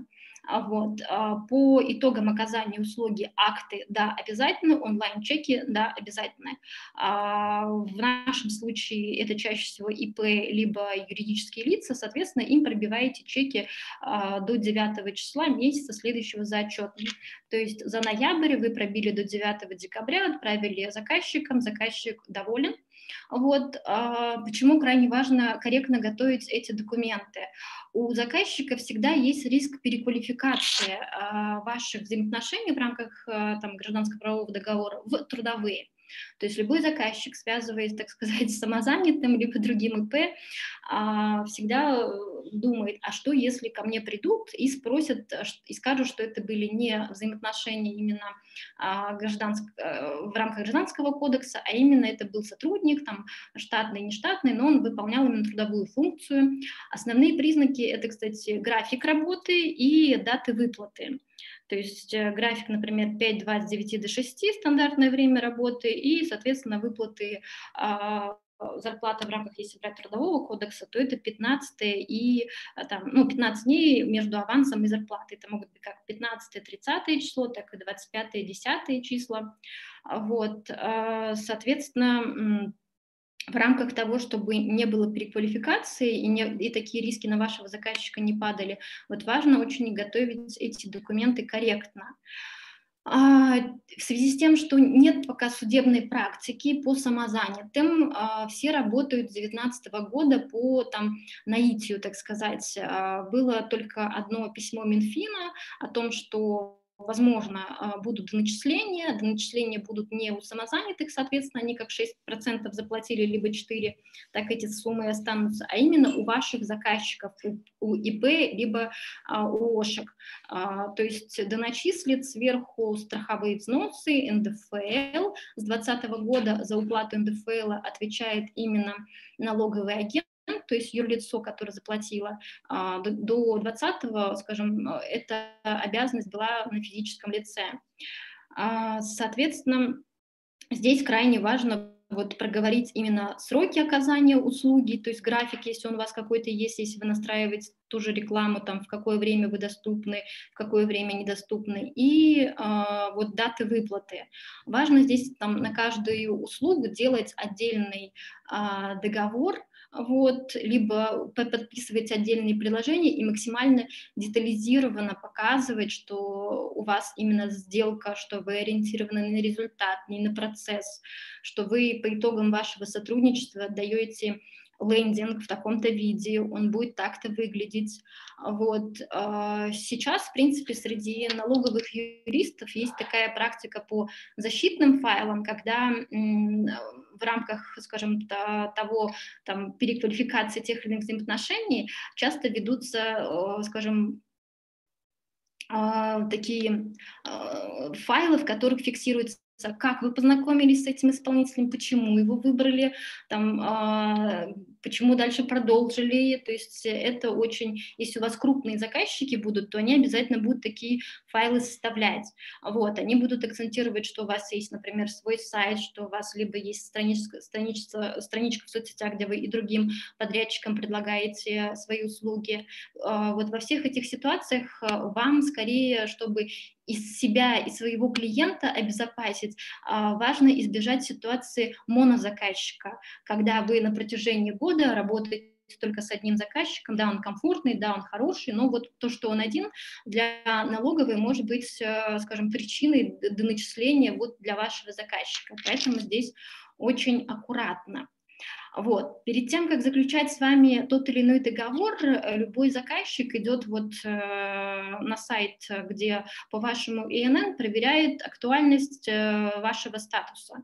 То есть на этапе проверки всем все видно здесь довольно-таки прозрачно, например, что э, вы с 14 14 декабря стали самозанятым, соответственно, если клиент планирует там а, вам оплатить услугу на 100 тысяч рублей, это будет, ну, скажем так, а услуга только начала, вы только заключили договор от 14 числа, тогда это надо прописывать либо как предоплату, вот, в рамках условий договора, либо как-то э, попозже, возможно, по, те, по тем же условиям договора переводить эту оплату.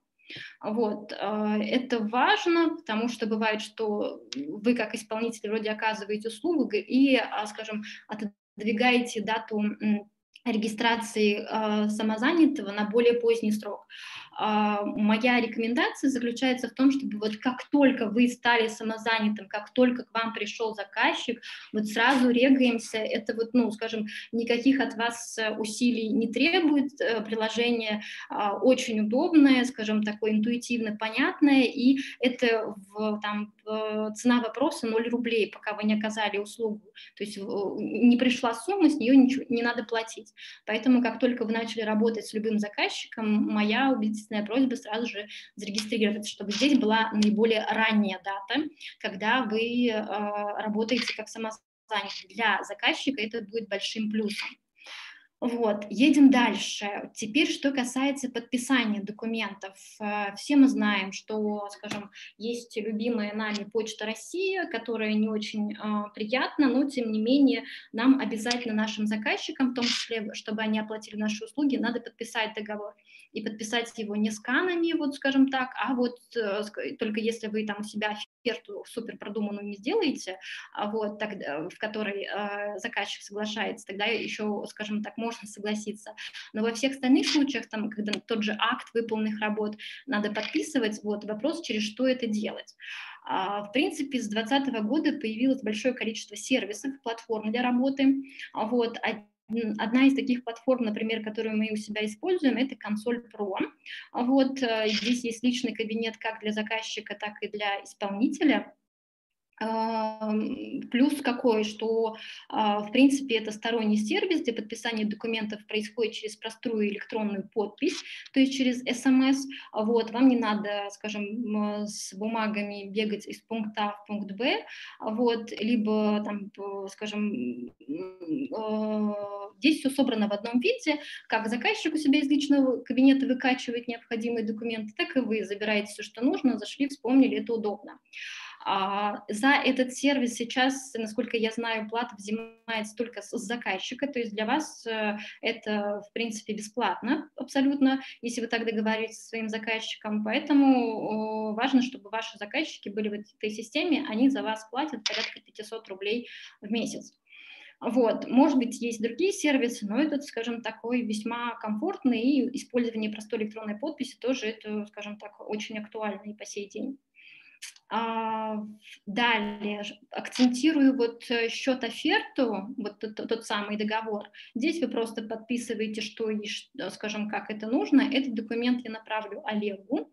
Вот, э, соответственно, вы можете под себя его адаптировать лучше всегда иметь хоть какой-то договор, чем его вообще не иметь, потому что это все-таки безопасность того, что а, вы после оказания услуги ваш, э, ваши, скажем, договоренности будут достигнуты, и вы получите свою оплату. Потому что заказчики разные бывают, предоплата всегда вселяет уверенность в то, что все будет хорошо. В работе с крупными они будут обращать особое внимание, естественно, на на закрывающие документы, вот, важно их детализировать. Вот в факте, в принципе, вплоть до скринов, как вы там настраивали личные кабинеты, как в итоге были обработаны фотографии, в каком виде вышел там конечный текст, это, в принципе, можно тоже а, вставлять, скажем, э, как отчеты о проделанных работах. Вот, а, поэтому опыт у нас такой, а, в целом, а, скажем так, большая часть, они вот именно заказчиков боятся именно переквалификации, чтобы это избежать, мы максимально продумываем вот документацию.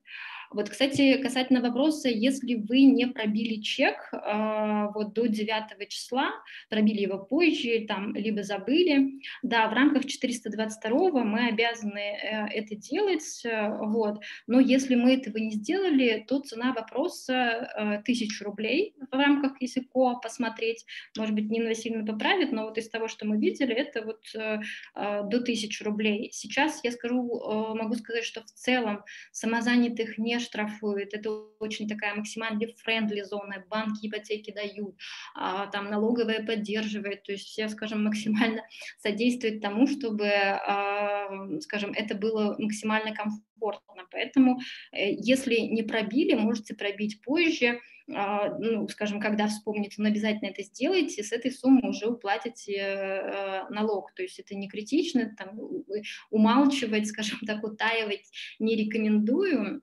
Вот. Важно показывать, что у вас, ну, вы, вы справились, и вы, так сказать, на верном э, пути.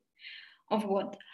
А что касается, например, таких площадок, как Диадок, где используются, э, вот это я, я вам показала, вот э, сервисы, где используется простая электронная подпись, его, насколько вы, там, может быть, знаете, не знаете, есть три типа вида подписи.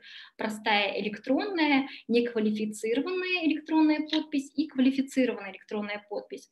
Так вот, Диадок, который является, собственно говоря, э, квалифицированной электронной подписью, он тоже может вам выдать ЦП, вы можете с ним работать, вот, э, но получение ЦП идет через удостоверяющий центр, там тоже можно все заверять, скажем, вы себя, как ИПшки, собственно, сейчас работают, вы тоже можете это делать, но ИПшки совмещают тут ЦП с тем, чтобы в том числе сдавать отчетность. Вам же сдавать отчетность как самозанятым не нужно, поэтому, в принципе, вот, э, скажем, работа на платформе, где все происходит через а, СМС э, скорее комфортно. А, в судах э, есть неоднозначная практика, сразу скажу, то есть именно вот с такой подписью, возможно, будут вопросы. Если сквалифицирована электронной подписью, там четко удостоверяется, что Иван Иванов пришел и лично получил ЦП с таким-то номером, и оно с таким-то кодом, а, там, с шифрованием, соответственно, никто ее подделать не может, э, и все идеально.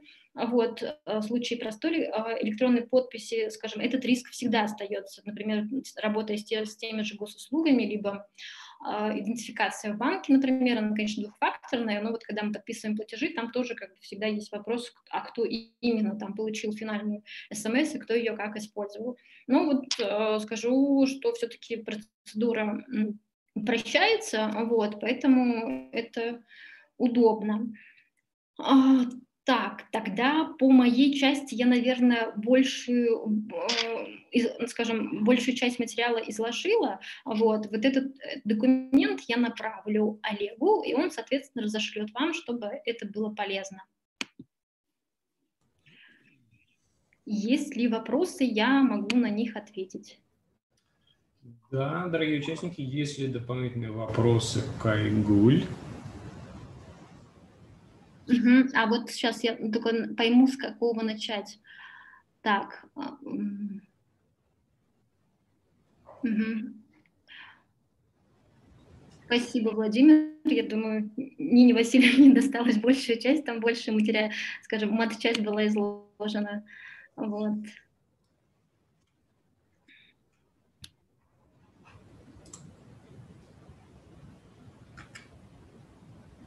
Угу. Либо под устали уже.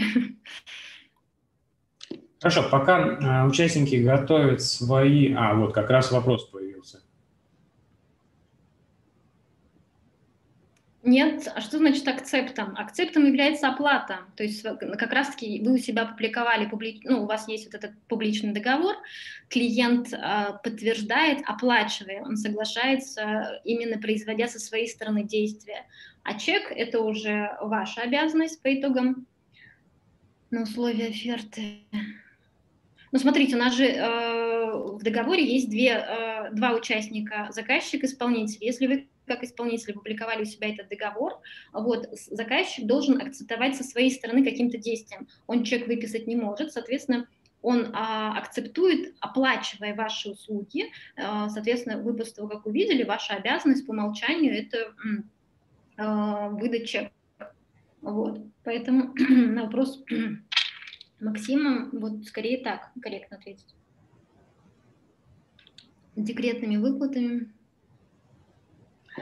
Нет, самозанятые пока этого не могут. Вот, э, соответственно, я думаю, что мы будем ожидать э, вот измен... пополнения, скажем, 422 ФЗ, потому что совершенно недавно была речь о том, что встал острый вопрос встал острый вопрос касательно а, пенсии и остальных выплат, соответственно, вот мы будем ожидать самозанятый ИП. По части ИП, да, окей, вы можете получать ИП, как работает. У него есть обязательные страховые взносы, соответственно, если он платит чуть больше минималки, откладывает у себя декретные, да, он может рассчитывать на выплаты с ФСС по декретным.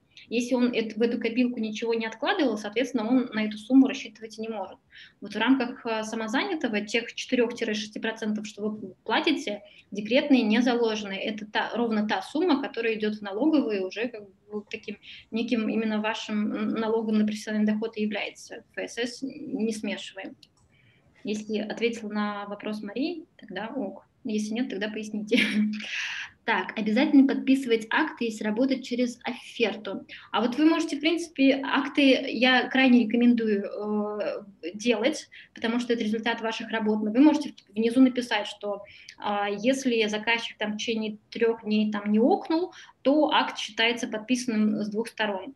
Вот. А, да, есть оферты, где вроде по умолчанию все там пришли, наладили, ушли, но вот если берем именно нашу сферу деятельности, это маркетинговые услуги, то а, я в 90% случаев всегда встречала именно акты, вот, тем более дизайн. У вас есть четко ощутимый результат ваших работ, Поэтому здесь э, ну, рекомендую. Либо вот должен быть э, такой максимально хитрый, максимально хитрая оферта, которая э, может это избежать. Но мне кажется, что у вас каждый раз и цена разная, я бы вам рекомендовала все-таки сделать вот отчет, который вы высылаете, и акт. Вы можете там даже совсем жестко написать, что если клиент в течение суток э, не выслал свои какие-либо возражения, то акт считается подписанным. Вы знаете, у нас так точка делает, когда там какие-то услуги нас оказывают, они, они в одностороннем порядке высылают нам на почту, и там даже нет взаимодействия через ЭЦП. Вот. Ну, еще раз повторюсь, здесь важна вся цепочка договор, акт, а, вот они должны максимально быть связанными. Там, окей, а, чек из а, личного кабинета у нас идет, счет, он как бы такой весьма несложный, но они должны быть такой в единой, скажем, такой модели, чтобы максимально ваши риски учесть потому что вот в вашей модели есть риск того, что заказчик скажет, а он в итоге ничего мне не сделал, и там с вас же может взыскать эту сумму, а эта история вам явно не нужна. Вот. И что с льготами субсидиями? Если ты становишься самозанятым, то лишает права на выплаты на детей, пенсии по инвалидности, субсидии на жилье, и все эти социальные платежи никак не связаны с получением дохода самозанятым. А, да, да, есть такой момент, что если вы получаете э, средства от государства, например, по детям, по инвалидности надо скорее уточнить, проверить э, вот. Но по детям, да, сталкивались с тем, что если вот мама работающая ранее получала там по 10 тысяч, которые ранее тоже были в апреле-мае, государство выплачивало, то как только она становится самозанятой, да, она этого лишается, ибо она работает. А вот, она уже не, э, ну, этих, этих плюшек точно может лишиться. Вот, по инвалидности перепроверю, по жилью тоже, вот. Тут скорее, я думаю, что в рамках еще 2021 года мы будем наблюдать, все мы понимаем, что там, закрепили этот, э, эту новую систему на 10 лет экспериментальную, и вроде как обещали ее не трогать, но, как видим, ее уже дорабатывают в рамках 2020 и 2021 года, поэтому, как говорит а, в том числе Венедикт, будем наблюдать.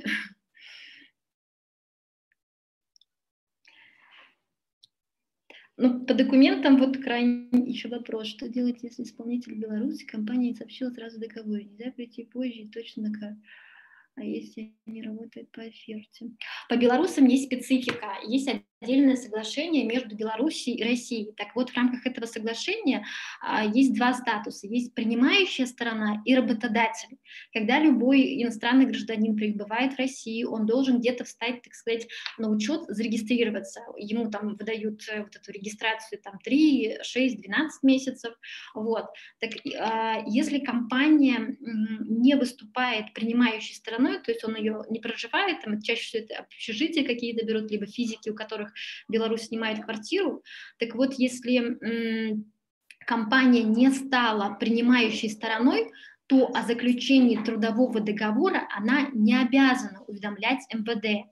А, вот это, скажем, такая плюшка максимальная. Плюс я, мы еще в этом году, у нас там в связи с приездами и переездами, нам надо было продлить договор с белорусом, а, так мы продлили без его присутствия. Просто пришли в МВД, сказали, что у нас такая ситуация, ну, как бы, и, и, вплоть до того, что нам дали, выдали там письменное заключение, что да, у нас рисков нет, что цена вопроса, еще раз повторюсь, 1 миллион рублей.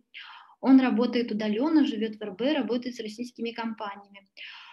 А, а тут не обязаны на самом деле. С удаленными сотрудниками на самом деле очень много интересного есть, э, в том числе с Украиной, с Белоруссией. А вы, если вы являетесь заказчиком, э, в том числе либо работодателем, вот, в целом сумма налогов, которую плачивается Россия, она фактически равна нулю. Но только если он именно не зарегистрирован в другой стране, как ИП, а, если он зарегистрирован в Украине либо в Беларуси как ИП, тогда у вас э, есть э, НДС, вот какая специфика. Вот у нас а, была практика у нас, когда был физик украинец, э, и, соответственно, впоследствии, когда он стал уже ИПшником, а, мы, нам пришлось уже выплачивать НДС. Так вот, возвращаясь к вашему кейсу, а, соответственно, а, вам не надо уведомлять МВД. МВД уведомляем, когда физически сюда сотрудник прибывает, и, а, скажем так, в рамках борьбы с терроризмом и вот, вот этого всего остального МВД должны фиксировать приезд любого иностранца. Соответственно, то есть у вас, у вас он белорус самозанятый. А тут он у вас именно белорус самозанятый или он у вас белорус-физик? Просто тоже два, две разные истории. Белорус-физик – это точно отсутствие уведомления, а вот белорус самозанятый, тут, э, тут я бы отдельно еще посмотрела бы, как он тогда, как, в какие заезды он стал самозанятым. Тут голословно утверждает физик, который зарегистрировался в приложении «Мой налог». Ну, то бишь э, самозанятый. А, в вашем случае я бы прям вот территориальный МВД отправила бы запрос, что э, мы такую ситуацию у нас, такая ситуация у нас есть, мы еще пока не заключили договор, по крайней мере сказать, вот, и пусть они выдадут письменное заключение, если их очень попросить, они это могут. А, МВД проверка, в принципе, редкая история, но, а, скажем так, э, ну, она так иначе может возникнуть, вот, поэтому здесь я бы отдельным письмом от самого территориального МВД ну, потому что ситуация неоднозначная. Вот по физикам мы точно знаем, а вот по самозанятым белорусам нет устоявшейся практики. Вот. Хорошо. Так, Максим вопрос. Ли самозанятые оплачивать услуги самозанятым? Например, работы да, я понимаю, о чем вы. Это, там, скажем, на грани того, в том числе а, заключения договора а, трудового, там, что у самозанятого не может быть сотрудников. Были недавно письма в ноябре о том, что э, самозанятый в том числе может работать э, и с остальными, э, скажем, э, в общем, под, по подряду нанимать других исполнителей. У нас есть ограничения, потому что мы можем только там а, продавать то, что сами произвели товар, а, то, что, скажем, нами производилось. Вот в случае с а, рекламными услугами, как это будет работать. Нет устоявшейся практики, но вот с точки зрения заказчика я могу сказать, что это риски. Также есть отрицательная практика, когда ИП берет на себя заказ и перезаказывает другому ИП, такие взаимоотношения чаще всего переквалифицированы бывают в трудовые э, отношения. Вот здесь я все-таки вижу риск э, того, что самозанятый может лишиться своего статуса, а вот, э, либо очень тщательно работать с документами, с датами оплат и, скажем, просматривать эту историю, А, вот, но скажем, у нас есть только одно письмо, хотите, могу его вот отдельно выслать э, касательно того, могут ли нанимать. По факту говорят, да, могут, но как она будет работать и как не будут ли э, переквалифицированы эти отношения из гражданско-правовых условно в трудовые, здесь уже вопрос. Как только они будут переквалифицированы трудовые, соответственно, вы как самозанятый уже теряете свой статус. Возможно, возможно делать это через, э, там, скажем, своих коллег, вот, это будет наименее рискованный вариант работы. Ну, скажем так, я вам этого не подсказывала. Просто, скажем, э, в силу того, что вроде все просто, как э, в том числе говорили предыдущие спикеры, но вот э, при таком копании есть определенная специфика. Если это именно, именно ваша ситуация, я бы все-таки разграничивала. Здесь мы, скажем, сотрудничаем, здесь у нас там другая история. А, если идти по аналогии с товаром, то не надо. А, всегда, пожалуйста. Если там что-то еще нужно, мои контакты в конце будут. У нас э, есть э, там, блог на VC, мы стараемся делиться теми лайфхаками, которые есть, понимаем, что всем просто, вот, поэтому считаем, что должна быть максимальная польза. Так, кажется, Олег, все, да? Так, пока я смотрю а, закончились первые вопросы, первая масса вопросов. Я добавлю какие по контенту, который вы рассказывали. Вы говорите, судебной практики пока по самозанятым никакой не сложилось. Есть ли какие-то интересные кейсы, случаи вообще, там, с которыми вы, про которые вы слышали, которые вы знаете? Вот на что важно обратить внимание самозанятым? Важно обратить внимание на документацию. Вот это, с этим точно игнорировать не надо. То есть это очень важно. Вы уже не просто физики, которые получили, э, ну, там, условно, от, э, по Сбербанк онлайн вам перекинули. Кстати, даже если вам перекинули по Сбербанк онлайн по номеру телефона, все равно вы можете пробить чек. Вот. Здесь надо быть осознанными максимально, потому что, а, скажем, политика меняется максимально вот в части уплаты налогов. НДС у нас максимально автоматизировали, сейчас взялись за НДФЛ. А, соответственно, если вы не хотите оказаться в ряду тех, кому будут вопросы спустя три года, они точно будут, несмотря на ковид и на остальные обстоятельства. А вот, э, крайне рекомендую вот заранее вот готовить документацию свою и быть максимально ответственными. А вот, у нас демократическое государство, в рамках которого каждый уплачивает свои налоги, смотрит, как они в дальнейшем распределяются, вопросы. Вот. А, если вы самозанятый, а, скачивайте приложение и максимально тщательно готовьте свои документы. Вот. То есть, а вот, то есть, я насколько понял, вот девочки, которые работают в цветочных магазинах, они сейчас смело могут принимать деньги на телефон себе, там, на свой счет, и просто потом чек выдавать как самозанятый. Девочки в цветочных магазинах, они э, скорее являются ИПшниками. Ну, допустим, если они самозанятые. А, извлечение, скажем так, у нас еще раз э, есть момент того, что говорила ранее Нина Васильевна, то есть это товары, которые мы сами изобрели, э, точнее, сами, э, скажем, изготовили, и мы максимально участвовали. То есть тут как раз-таки логика налоговой заключается в том, что у вас есть некое хобби, в рамках которого вы там а, без заключения трудовых отношений, без скажем так, вот, э, а, максимального там, увеличения можете вот самостоятельно вот генерить вот эти тортики. По цветочкам не уверена. Мне кажется, по цветочкам все-таки у нас есть и а, подрядные взаимоотношения, у нас есть сотрудники, у нас есть постоянная аренда. Вот здесь больше рисков, хотя при этом цветочники у нас не попадают вот в запрещенные виды деятельности. Но список у нас открытый. А, та практика, которую мы видим, что, скорее всего, будут, скажем так, уменьшать а, количество деятельности, которые будут, потому что ну, базово шли от того, что вот есть репетиторы, есть такие несложные де- виды деятельности. Все мы знаем ситуацию в Туле с кондитерами, когда те же налоговики, которые активно в том числе пользуются соцсетями, пробивают ваши аккаунты, приезжают к вам, говорят, ага, не заплатил, э, точнее, не выдал чек, вот себе, ай-яй-яй. Там, вот та же практика, скажем, которую мы слышим, что Мишустин очень любит э, ходить там куда-либо, получать чеки и потом пробивать их, скажем, в системе. И от того, что он видит, что чек есть в системе, которая создана налоговой, он получает свое удовольствие. Ну, тоже как бы 10 лет трудился человек, он видит свой результат, это на самом деле очень круто. Вот, поэтому э, в рамках цветочников я бы все-таки рассматривала еще, э, как арендуется, как приобретается, если сотрудники, вот, если там, вот, скажем, эти параметры есть, то все-таки, наверное, будет более правильно поставить ИП. А если мы, скажем, маркетологи, рекламщики, э, соответственно, вот по нашим услугам, да, необходимо э, становиться самозанятыми, вот я большой упор всегда делаю на документацию. Это всегда стопроцентная гарантия того, что ваши услуги будут оплачены. У вас прям вот все следы есть, вы пойдете в суд, и по там, исполнительному листу ваша сумма к вам вернется. Так, а следующий вопрос. Штрафов пока особо не было ни у кого, но какие штрафы возможны? И какие размеры этих штрафов? Ну вот а, с точки зрения самозанятых я штрафов вот с 19 не встречала, ни разу никто не жаловался.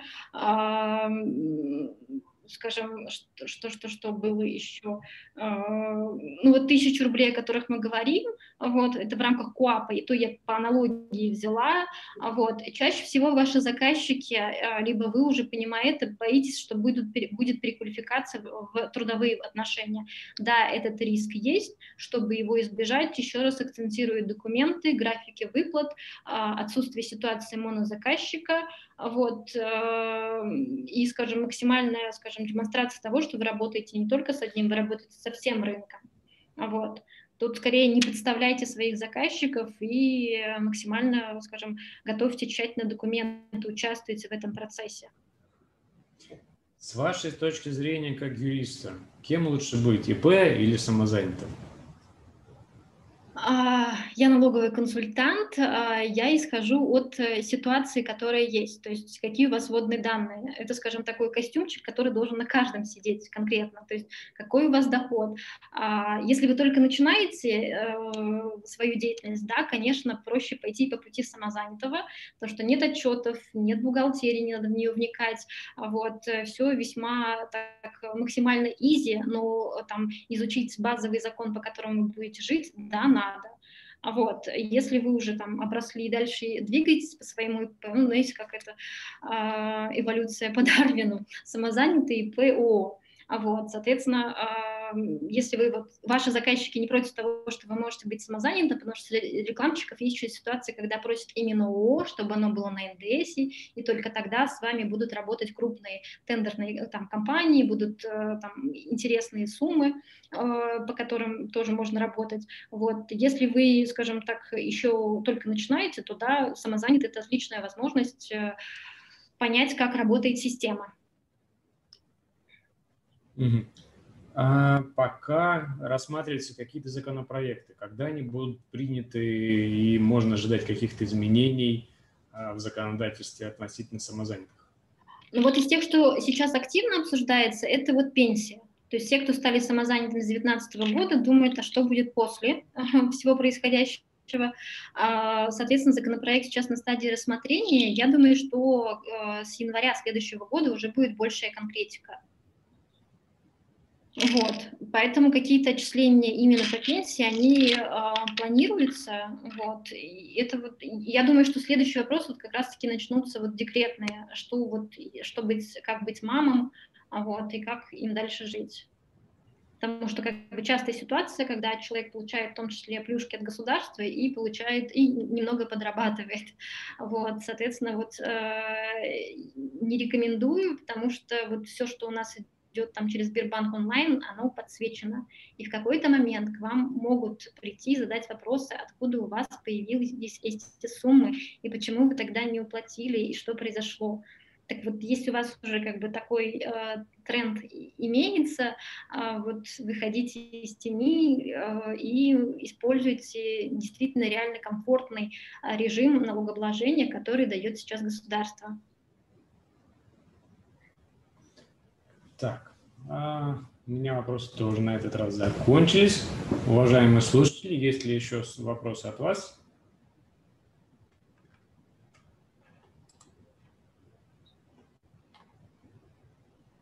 Вроде бы пока угу. все. Айгуль, спасибо большое за выступление. Было очень подробно и интересно. Ну, вы, по вопросам вы видели, что к вам их очень много было. Будем ждать вас на наш следующий вебинар 16 числа для новой аудитории. Ну, а мы будем постепенно переходить к следующему спикеру.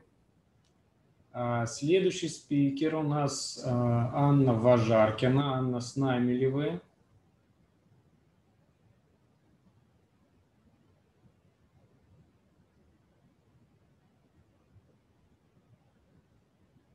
Анна, напишите, пожалуйста, в чат. Мы не можем вас а, определить.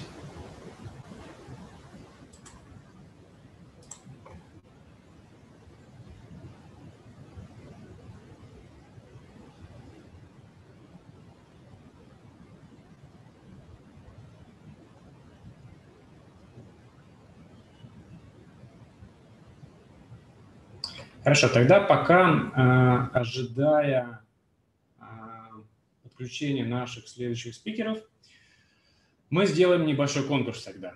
Э, у нас есть две замечательных вот таких книги.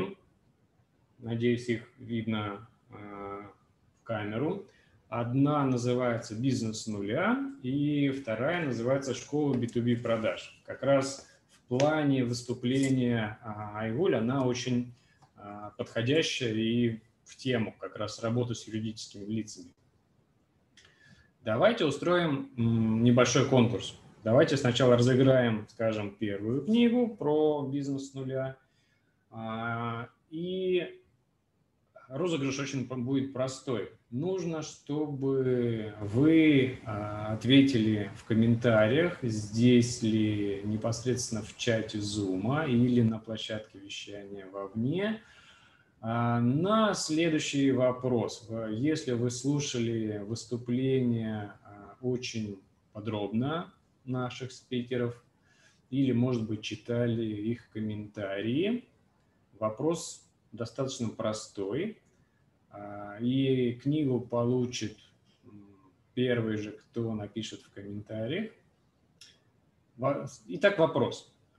Может ли самозанятый совмещать свою работу с работой по трудовому договору в какой-либо компании. Мария оказалась первая. А, Мария, мы с вами позже свяжемся и узнаем, как мы вам сможем доставить книгу. Итак, а, второй вопрос и вторая книга, соответственно, «Школа B2B продаж». Я читал, мне очень понравилось. А, как очень часто бывают претензии к различным писателям, что много воды или там, много лишнего. В данном случае а, книга не очень толстая, поэтому, видимо, писатель решил воду убрать и писал чисто конкретику. Давайте следующим вопросом у нас будет, например,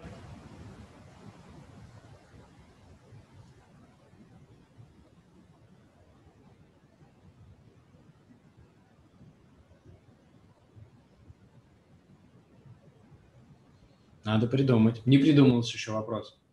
А...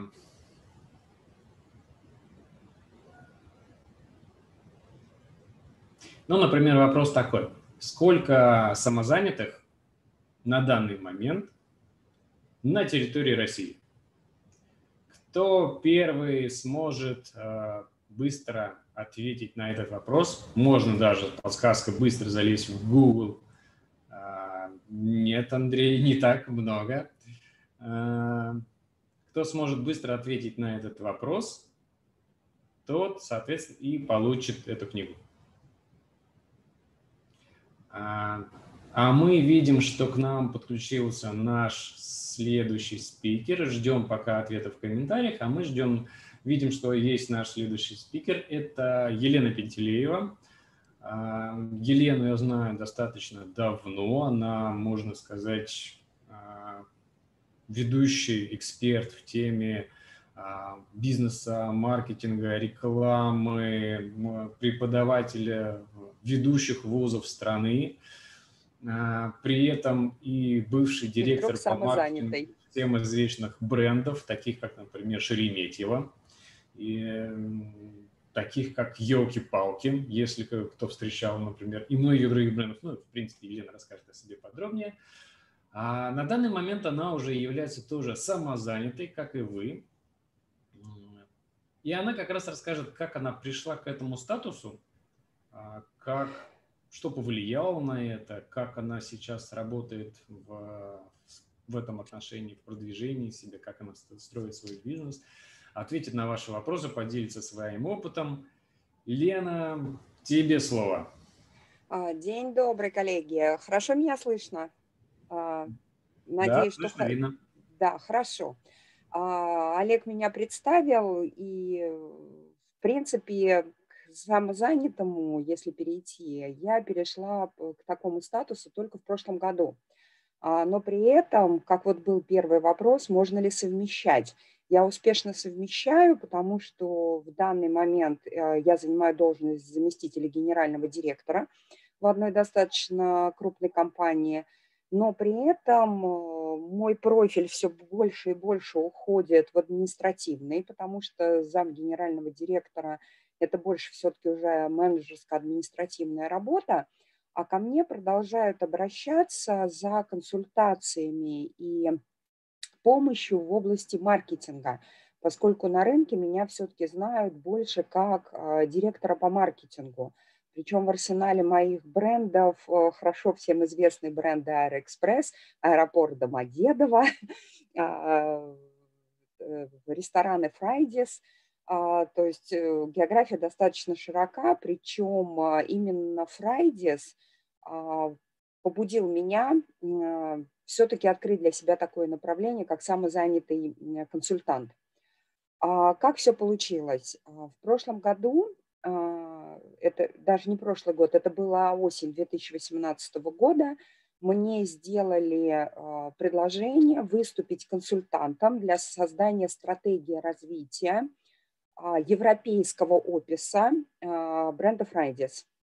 А, ну, почему на русского менеджера это упала миссия, не буду сейчас здесь останавливаться, но так случилось, что меня а, нашла австрийская компания, и мы стали общаться а, по поводу того, как мы можем юридически закрыть наши вопросы, потому что с точки зрения компетенции и именно маркетинговых задач мы обо всем договорились. И э, здесь в, как бы сама ситуация такая, что в Австрии очень сложное законодательство, и взять на работу иностранца э, – это еще тот квест. А, причем в нашей стране то же самое.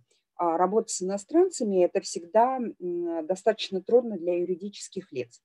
Поэтому австрийцы задали мне вопрос, а как вот можно по-другому а если мы с тобой запла значит, заключим договор просто как с физическим лицом, да, ты не резидент, но в этой ситуации а, ты тогда решай свои вопросы по оплате налогов как резидент в своей стране. Ок, сказала я и полезла в законодательство смотреть, как же я могу оформить все это а, так, чтобы, а, сэкономить, а, б, а, ну, сэкономить на налогах, потому что я понимаю, что э, вознаграждение буду получать в валюте, соответственно, я сразу попадаю на валютный контроль.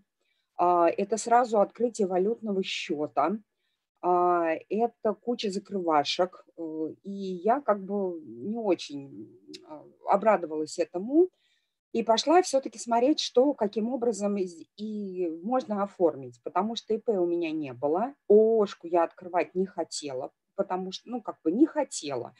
А с чем это связано? С моим бэкграундом. Давно-давно я уже занималась самостоятельным бизнесом, меня это не пугает, но я знаю а, порядок отчетности. А, это должна быть э, финансовая дисциплина, это должна быть э, в той или иной степени ведение бухгалтерского учета, это должно быть обязательно, если у тебя еще есть наемные сотрудники или партнеры, тебе это обязательно нужно связываться и платить налоги на соцстрах, пенсионный фонд и так далее. То есть это некая бюрократическая работа, которую вот в данном приложении, именно в данному договору консалтинга, она плохо прикладывалась, и я понимала, что я не очень хочу все это делать ради вот этого договора. А, вопрос стал выпадать на ИП. ИП э, тоже стала разбираться, тоже поняла, что есть определенная отчетность, что надо будет поехать, попасть в реестр ИП и так далее. И здесь, на мое счастье, открывают эксперимент с самозанятыми. Что такое самозанятые? Это по большому счету те же самые ИП, но где сужен круг деятельности, э, которая разрешена на самозанятых. И консалтинг как раз попадает под эту сферу, а, потому что это периодическая услуга, ты ее не постоянно оказываешь. А ты можешь оказывать ее как физическим, так и юридическим лицам. Причем ты ее производишь именно сам, потому что твоя услуга – это твоя экспертиза, твое знание. А, плюс надо отдать должное российской налоговой системе – они сразу для самозанятых создали очень удобное мобильное приложение. Зарегистрироваться там у меня заняло, по-моему, 10 минут, и стало все понятно, и как заносить э, свои доходы э, по поводу полученного, вот как раз полученного дохода, это все очень легко. И, соответственно, я это сделала, и вопрос был решен. То есть со своим э, государством как налоговый резидент я вопрос решила для австрийской стороны головная боль тоже ушла, потому что они мне просто по договору, который у нас был заключен между мной и физическим лицом и австрийской компанией, они перечисляли на счет в банке, э, ну да, мне пришлось открыть валютный счет, но это сделать было достаточно легко, я просто открыл валютную карту, уже привязав его к себе, они просто перечисляли деньги. На момент поступления денег я смотрела, какой у нас курс, переводила это все в рубли, я имею в виду, чтобы для отчитаться перед налоговой инспекцией, ну, занести в кабинет самозанятого, заносила эту сумму как полученный доход, и это все учитывалось, рассчитывалось, и сразу мне приходили денежки, а, ну, то есть информация, сколько я должна заплатить налога, а, именно в рублях. И а, таким образом все это было очень быстро и хорошо – вы мне можете задать вопрос, а как же уплата пенсионного фонда, соцстраха, потому что самозанятые этого не платят. А только в этом году сейчас начали обсуждение, что стоит, наверное, тоже вести, потому что в этом случае мы должны понимать, что для, например, начисления пенсионного фонда эти э, самозанятые не идут в расчет. То есть если ИП, э, когда вы платите налоги, вам там считается пенсионный фонд, потому, э, пенси, ну, будущее пенсионное начисление, потому что вы переводите туда, туда деньги, в этот пенсионный фонд, то самозанятые, поскольку не платят налог, то, соответственно, им вот, это вот, вот эти доходы и вот это вот э, стаж, который работает по самозанятому, они не идут ни в стаж пенсионный, не учитываются для последующего пенсионного накопления. А, но здесь скажу крамольную вещь, я вообще в пенсию не верю, поэтому как бы меня это не очень беспокоило. А, мне важнее было, чтобы у меня не возникло проблем а, с получением дохода, потому что доход белый, он поступает на счет в банке, в банк сразу запросил меня, на каком основании мне перечисляют валюту из-за границы, и я туда предоставляла свой договор валютный – а, чтобы снять вопросы. И мне важно было закрыть именно взаимоотношения с нашим налоговым кодексом. И я его успешно очень закрыла. И проработав достаточно долго, я вот по такому, значит, по такому самозанятому режиму, я этот самозанятый режим не закрыла. А я поняла, что с ним очень удобно, и я продолжила работать с ним, с российскими юридическими лицами. И что это хорошо, что дает а, для юриков? А, вы знаете, что, например, я как преподаватель а, высших учебных заведений всегда работаю по договору ГПХ. И, соответственно, ну, потому что преподавание в высшей э, школе не может быть оформлено как самозанятый. То есть все внешние эксперты, которых ВУЗ при, при, привлекает для чтения тех или иных курсов, и которые не входят в штат, они все работают на ГПХ. Что такое ГПХ для работодателя? Это плюс 13% уплаты подоходного налога с зарплаты, потому что вы являете, э, юридическое лицо в этом случае является налоговым агентом за того человека, который он привлек, плюс 38% э, в перечислении в пенсионный фонд и так далее, и так далее. То есть получается, что если меня, например, как физическое лицо пригласили на там, 10 тысяч рублей, то, простите, для работодателей я обхожусь в, на все там 13,8 а, рублей. Поэтому на 30% дороже мы все обходимся работодателю, когда выступаем как физические лица. И при этом, если мы на ГПХ, то за нас работодатель все равно платит по полной с фонда заработной платы эти налоги. Поэтому когда я предлагаю, ну, как преподаватель по-другому невозможно. Но вот, например, когда меня стали приглашать предприятия, и ты говоришь, что ты а, а, самозанятый, для них это лучше, потому что если, конечно, для них идеально это ООО, потому что они тогда в этом случае на НДС не попадают, они передают вам этот НДС. Но если э, ты не ООО, потому что ну, тебе невыгодно держать ООО, например, у меня нет постоянной выручки, а вести бухгалтерию придется постоянно, а я этого не хочу. А, соответственно, ИП для них все равно, что ИП, что самозанятый в этом случае. Почему? Потому что они все взаимоотношения с налоговой инспекцией по уплате налогов по этому договору перекладывают на вас.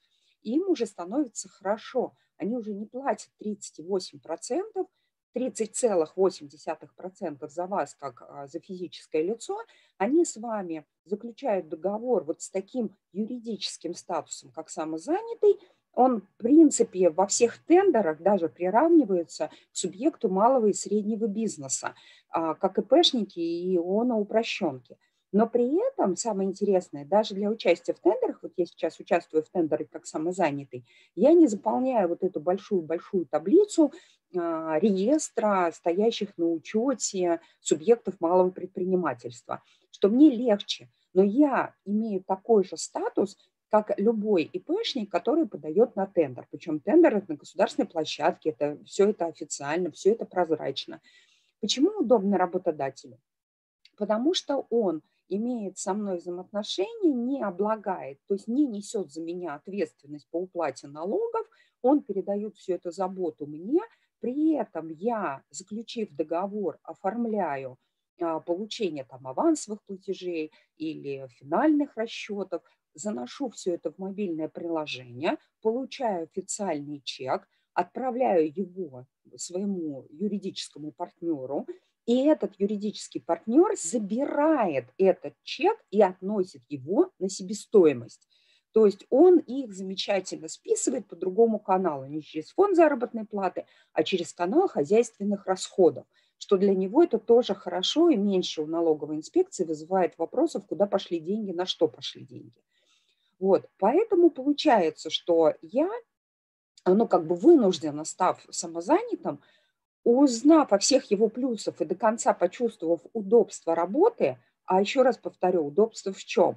У меня не постоянный заработок, он у меня периодический. Соответственно, я отчитываюсь только тогда, когда я получила дополнительный доход. Все остальное время я не отчитываюсь, с меня налоговая не требует никаких законодательств, ой, то есть никаких отчетов, она не предъявляет ко мне никаких вопросов, потому что я все это в приложении декларирую. А второй плюс а, – взаимоотношения с юридическими лицами. Они предпочтут работать именно, ну, как я уже сказала, по иерархии, они предпочтут работать с ООО, Потом и для них все равно ИП или а, самозанятый, потому что это как бы для них это одинаковые ставки. А потом уже с ГПХ, потому что для ГПХ самый неудобный для работодателя, я имею в виду, когда у тебя коммерческий краткий контракт, очень неудобно именно с точки зрения э, затрат, которые они несут. И третий а, момент а, – это удобство отчета в мобильном приложении потому что мобильное приложение очень понятно, интуитивно, э, все ясно, куда что заносить, как выписывать чек э, работодателю. И такую форму я сейчас использую. И использую очень активно для как раз рекламы и для взаимоотношений. При этом частные консульта... частные не реклама, я имею в виду взаимоотношения, участие в тендере, оказание услуг. причем оказание услуг физическому лицу тоже становится а, понятным и прозрачным, потому что человек тебе, когда присылает деньги, он пишет, за какие услуги заказ, значит, оплачено, а банки сейчас все это мониторят, контролируют, и ты заносишь это все сразу же оперативно в мобильное приложение, и налогов у вопросов налоговой инспекции не возникает. Но мне кто-то может возразить, что, в принципе, ИПшники тоже могут работать, я имею в виду физическое лицо тоже может работать а, по договору, как бы и занося все свои доходы в конце года, потому что мы можем сдавать уточненную декларацию и туда дополнительные доходы записывать, а, все полученные дополнительные доходы сдавать один раз в год. Но сразу скажу, что кто вот такой аккуратный, все записывает, все ведет, все хорошо.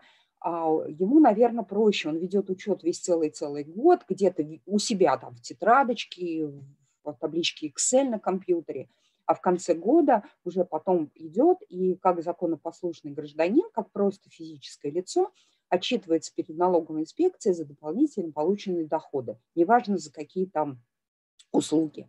Но дело в том, что при моем обороте мне удобнее, совершив сделку, ее сразу закрыть. А почему? Потому что налоги списываться будут все равно в конце года. Но ты зафиксировал это все, и здесь также удобно. Если тебе выставили счет, ты можешь их оплатить до конца года. Но ты можешь заплатить их здесь и сейчас. И мне вот удобнее. Знаете, получается, ты заключил договор, ты отработал эту консультацию – ты получил вознаграждение, занес в мобильное приложение, закрыл, отправил чеки, уплатил налоги. Став, все, проект закрыт полностью. И у тебя не возникает никаких там э, на подкорке, в, ой, надо заплатить налоги, надо еще там вспомнить, надо занести, а к концу года это все освежить, не ошибся ли ты в цифрах и, и какой у тебя был подрядчик. И, ну, как бы мне удобнее сейчас мобильным приложением, вот, вот реально.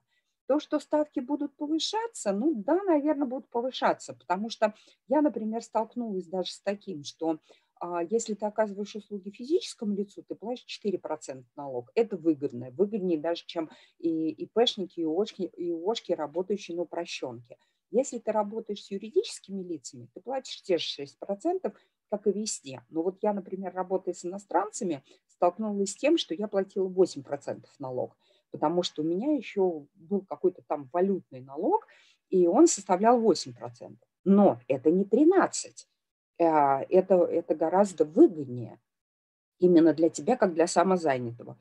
А будут ли увеличиваться налоги? Думаю, в этой ситуации, в которой мы сейчас все оказались, да, они будут увеличиваться. Скорее всего, самозанятых, когда пройдет удачно эксперимент, а его сейчас расширили на большее количество городов, и поймут, что это достаточно хорошая собираемость, скорее всего, его начнут приравнивать куда-то к э, тем же ИПшникам, к тем же другим субъектам малого бизнеса, Ошкина, упрощенки и так далее.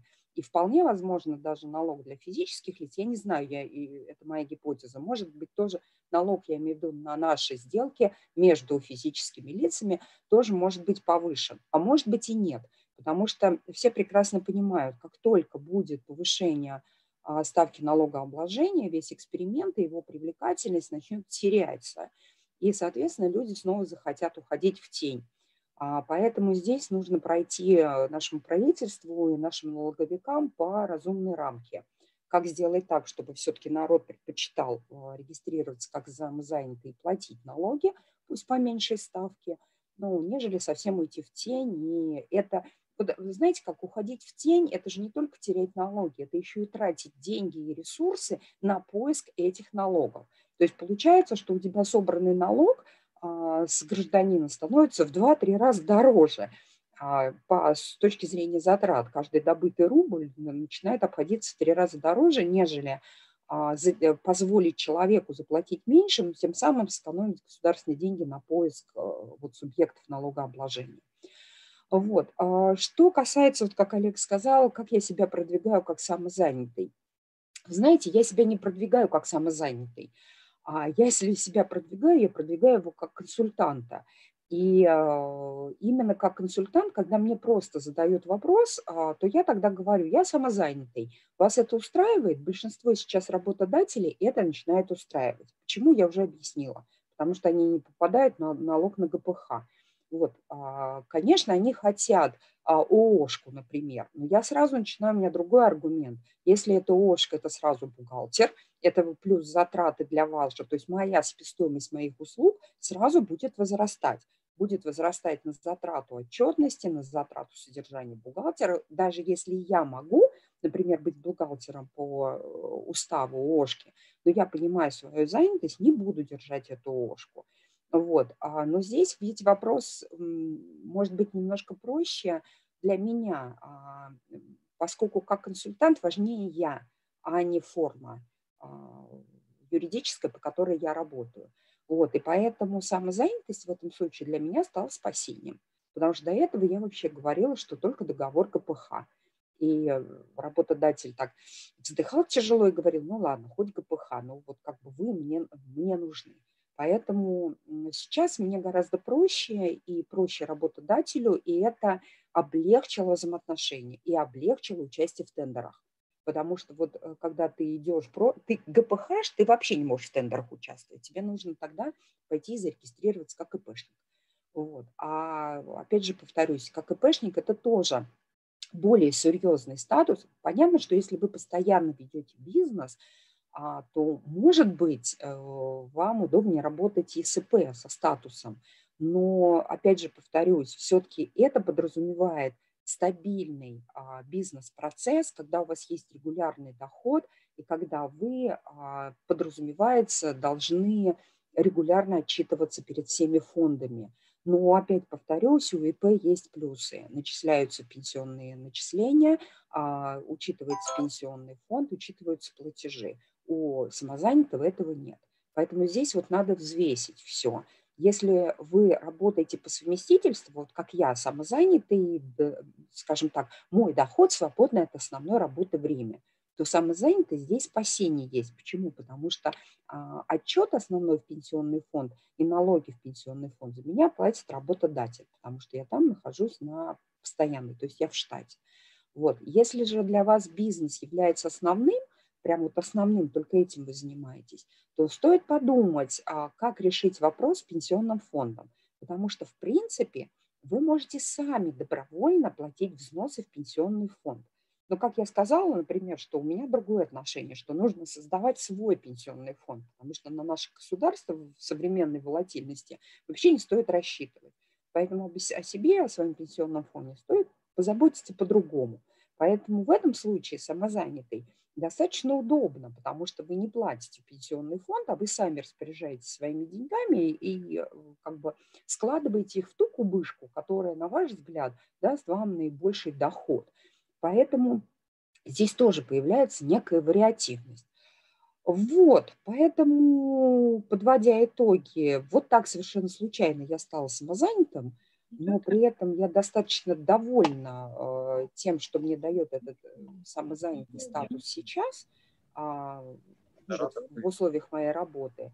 И сказала, почему, потому что я же еще и с другой стороны, да, как сам генерального директора, и я же знаю, как у меня ценообразование идет, и какие расходы я несу как работодатель на оплату тех или иных затрат, которые я трачу на привлечение профессионалов или на привлечение кадров.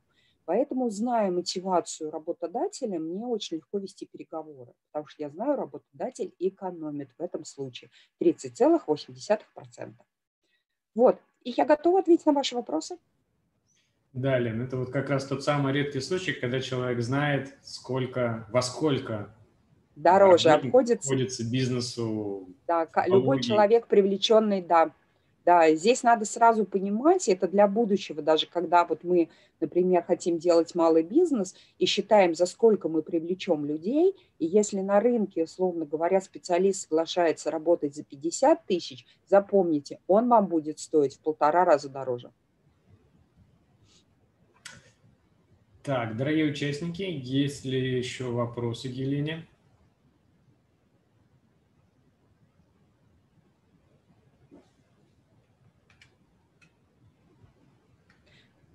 Ну, если вопросов нет или возникнут потом, Олег, то можно будет письменно, если что-то, и каким-то образом. Да, мы обязательно тебе Обязательно, да, да. И помучим тебе вопросы. Спасибо да. тебе за выступление. Все, всего доброго. И мы будем переходить к нашему следующему спикеру, а, который, по нашему мнению, является, наверное, одним, одним из ведущих спикеров в теме самозанятых, ну, точнее, одним из даже самых известных спикеров, который регулярно э, принимает участие в различных мероприятиях, а, рассказывает про самозанятость, про а, продвижение самозанятых, и про все подробные вопросы, которые относятся к этой тематике. Это Елена Белоусова. Елена, вам слово. Добрый день, Олег. Э, здравствуйте, уважаемые коллеги. Э, спасибо большое за приглашение выступить на сегодняшнем мероприятии. Э, на самом деле опыт именно рассказов про самозанятость у меня еще пока небольшой. Это второе выступление, но я сама являюсь организатором мероприятий по travel тематике, по продвижению. Поэтому мне но, но если, если смотреть Рунет, то вы прям один из наиболее цитируемых, наверное. Здорово, я рада, что удается продвигать эту тему в жизнь, потому что она мне искренне на самом деле пришлась по душе. И с вашего позволения я, собственно говоря, поделюсь сегодня своим опытом. Так, сейчас я запущу презентацию в а, полноэкранном масштабе и, собственно говоря, расскажу, поделюсь, а, скажем так, своим личным опытом работы интернет-маркетологом на самозанятости. Я уже, получается, почти что два года как оформилась э, в этом статусе. Практически одна из первых, наверное, была, потому что статус этот появился, этот режим налогообложения появился в январе, собственно говоря, 2019 года. Э, в четырех регионах, как мы все знаем, и я как раз оказалась, собственно говоря, жителем одного из них в Московской области, и практически вот сразу, как только он вступил в действие, в конце месяца я зарегистрировалась. Люблю, собственно говоря, экспериментировать, люблю пробовать все новое, и в самом конце презентации, в общем-то, поделюсь с вами выводами, скажем так, которые я могу сейчас уже, будучи э, два года плательщиком э, налога на профессиональный доход, да, могу сделать и забегая вперед, скажу, что у меня крайне позитивные впечатления об этом статусе. А, коротко расскажу о себе, чем я вообще занимаюсь, потому что, собственно говоря, вся моя презентация будет посвящена так или иначе да, рассказу об этом, о своей, скажем так, практике, как я работаю, как я именно вот с точки зрения э, системы налогообложения, скажем так, да, работаю с юридическими лицами. Э, у меня практика, связанная с тем, что я предоставляю услуги компаниям по маркетингу, по продвижению, по настройке рекламных кампаний. И именно по этой причине у меня практически, наверное, 90 клиентов – это, естественно, юридические лица и я сразу столкнулась с некоторыми, скажем так, особенностями работы с ними и расскажу, как у меня все построено, как я, в общем, оформляю все, весь пакет документации, работая с ними. И вторая часть моей деятельности – это организация мероприятий, организация конференций, вебинаров, марафонов э, и подобных э, форматов, как правило, онлайн-мероприятий, как мы сейчас с вами, собственно говоря, здесь присутствуем – и там идет особенность в том, что э, я, скажем, монетизирую эти мероприятия за счет продажи записей, и мне э, нужна была возможность принимать э, деньги онлайн через сайт и предоставлять доступ к этим записям автоматически, а не вручную. И я тоже расскажу коротко и об этой стороне, собственно говоря, вопроса. Ну что ж, поехали. Как я уже сказала, что презентация у меня будет из двух частей. В одной части мы как раз-таки поговорим про том, как принимать оплату через сайт, во второй части поговорим о том, как работать с юридическими лицами, и в конце несколько слов, скажем так, я остановлюсь на плюсах и минусах, а, какие-то, может быть, некоторые шероховатости, с которыми я столкнулась, да, вот работая а, как именно самозанятый, а не как ИП. А, итак, я, в принципе, уже коротко рассказала, чем я занимаюсь, поэтому этот слайд я пропущу и начну, наверное, с того, а почему я вообще, в принципе, выбрала именно самозанятость, а, потому что два года назад, когда я даже, ну да, два с лишним года назад, когда я столкнулась с этим выбором, а, когда мне нужно было принять решение, оформлять, оформлять ли мне ИП, либо мне, да, собственно говоря, попробовать вот этот новый пока еще тогда еще на тот момент он был совсем никому неизвестный статус самозанятости, и я лично основывалась на следующих критериях. А, первый момент – это то, что самозанятость, э, зарегистрироваться, э, зарегистрироваться в этом статусе занимает буквально несколько минут. То есть это не э, красивая фраза, не оборот речи, это на самом деле так – то есть мне для того, чтобы стать самозанятым, заняло, наверное, две минуты буквально. Да? Я уже к тому моменту имела личный кабинет э, в налоговый, онлайн-кабинет, да, соответственно, я просто через него залогинилась, два раза клацнула по клавише, заполнила необходимые сведения, и через буквально там 15-20 минут налоговая прислала смс мне, что я уже являюсь самозанятым. То есть это очень просто. Второй момент – это низкая налоговая база. Да, вот предыдущий спикер, я успела послушать часть выступления, об этом в частности говорила, то, что э, налоги платить выгоднее самозанятому, да, потому что если у вас существенная доля физических лиц, то у вас налог будет э, ниже 6%, как, например, у ИПшников, э, да, самый низкий налог – это именно 6%. Третий момент – это, конечно же, элементарное просто ведение э, так называемого бухучета, хотя по факту его просто и нет. Вам не нужно отправлять декларации в налоговую, вам не нужны никакие специалисты, не нужны никакие сервисы дополнительные для того, чтобы вести, в том числе, кстати, платные сервисы для того, чтобы вести свою бухгалтерию. Вы просто получили денежку и отправили, собственно говоря, чек. Все. Дальше налоговая сама все вам рассчитает и пришлет каждый месяц, там, 10-15 числа расчет, а, по которому вы платите, а, собственно говоря, налоги. Очень просто. Четвертый момент – это отсутствие обязательных пенсионных отчислений. Здесь, конечно, справедливо сказать, что как бы отсутствие пенсии это не является плюсом, но плюсом я вижу то, что нет обязательных отчислений, как есть у ИП. ИП вот в текущем году, если я правильно э, знаю, да, 42 тысячи платят обязательно, и даже если не ведете вы никакую деятельность, вы обязаны эти денежку оплатить. Да, у вас начисляется пенсия, но у вас нет возможности отказаться от этих взносов.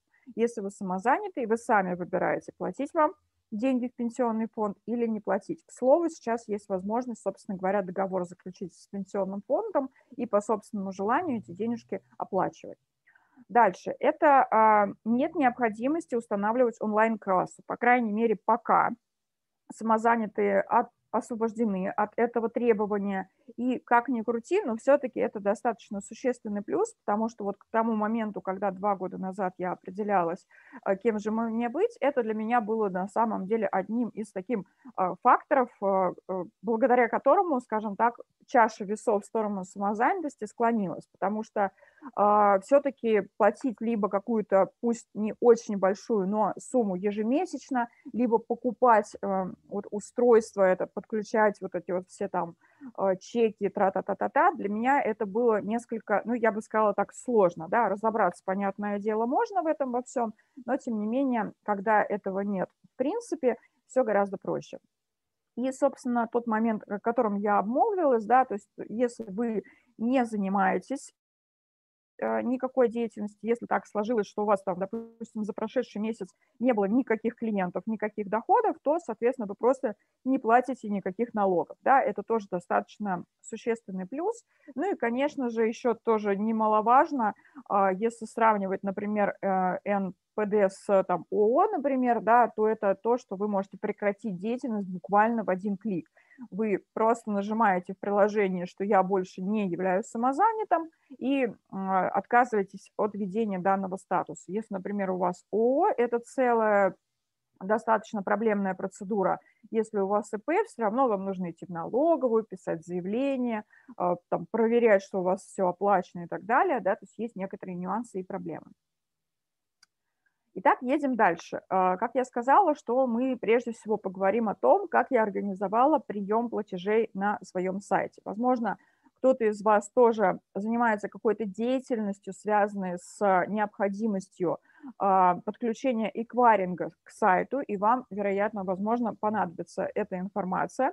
Кроме того, если вы, например, оказываете какие-то услуги, например, консультации, маникюр, да, и вы можете, например, организовать онлайн-записи, принимать тоже средства на сайте, я сейчас расскажу, как, собственно говоря, это сделать.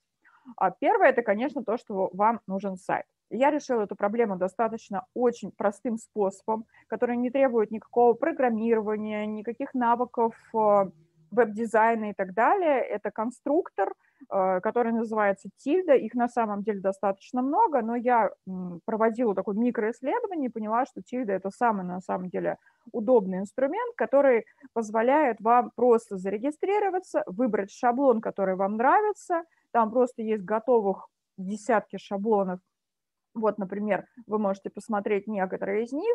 Это психотерапевт, персональный стилист и куча других, на самом деле, шаблонов, которые уже дизайнеры приготовили для вас, и вам остается только поменять картиночки и поменять тексты на ваши. Все, собственно говоря, и у вас готовый сайт. То есть это настолько просто, а, ну, примерно как пользоваться Word и Excel. Да? То есть вам нужно просто достаточно быть компьютерно грамотным человеком для того, чтобы создать свой собственный персональный сайт. Можете попробовать, а, если вы регистрируетесь на сайте, у вас по умолчанию есть 14 дней абсолютно бесплатного доступа, а вот по ссылке партнерской вы можете получить плюс один месяц бесплатно, просто для того, чтобы потыкать, потестировать, проверить, как вам вообще зайдет или нет. А, и вот так вот теперь выглядит а, блок с возможностью приобрести на моем сайте записи конференции, которые у меня продаются, да, то есть это э, такой блок э, с кнопкой там подробнее или купить, как вы ее сами, собственно говоря, назовете, с ценниками, и человек, который оплачивает, он, собственно говоря, просто выбирает э, тариф, который ему нужен, и переходит непосредственно к оплате. А в чем еще большое преимущество Тильды? То, что к ней уже подключено большое количество систем, различных а, систем а, приема платежей или систем эквайринга, как они называются в банковской сфере. Вы видите на слайде, да, какое количество систем уже к ней подключено. То есть, ну, реально, это вот э, на вскидку могу сказать, что это больше 10 систем, которые вы можете выбрать. Вот, к сожалению, тут надо оговориться, что с самозанятыми работают далеко не все. И это, наверное, вот один из минусов, с которыми я столкнулась, потому что пока еще банковская сфера не развернулась в сторону самозанятых, потому что просто-напросто большинство самозанятых, как я понимаю, да, не предполагают, что это люди, которые что-то принимают через сайт, да, потому что по большей степени это там первое время были таксисты, курьеры, теперь очень много там, да, людей, которые оказывают услуги на дому и так далее. Но, тем не менее, такие системы есть. Одна из них – это э, Яндекс Деньги, которая так называлась до недавнего времени, теперь ее выкупил Сбербанк, и она называется Юмани. А вы просто э, регистрируетесь в Яндексе, регистрируетесь в Яндекс Деньгах или Яндекс Кошелек, еще по-другому это называется, и там необходимо пройти э, процедуру идентификации. Что такое идентификация? Это когда вы свои паспортные данные предоставляете Яндексу, и вам вот эту вот э, золотую галочку, скажем так, назначают, как вы вот видите на третьем блоке. После этого вы можете хранить на кошельке достаточно серьезные деньги, вы можете а, принимать достаточно большие суммы, да, то есть у вас практически нет ограничений для того, чтобы, собственно говоря, работать с этой системой. Процедура идентификации может предоставлена быть через различные офисы связи, а, либо непосредственно в офисе Яндекса, поскольку я живу в Москве, я проходила именно таким способом идентификацию, и это, кстати, было бесплатно. И а, в чем, собственно говоря, особенности работы с Яндекс а, кошельком или Юмани?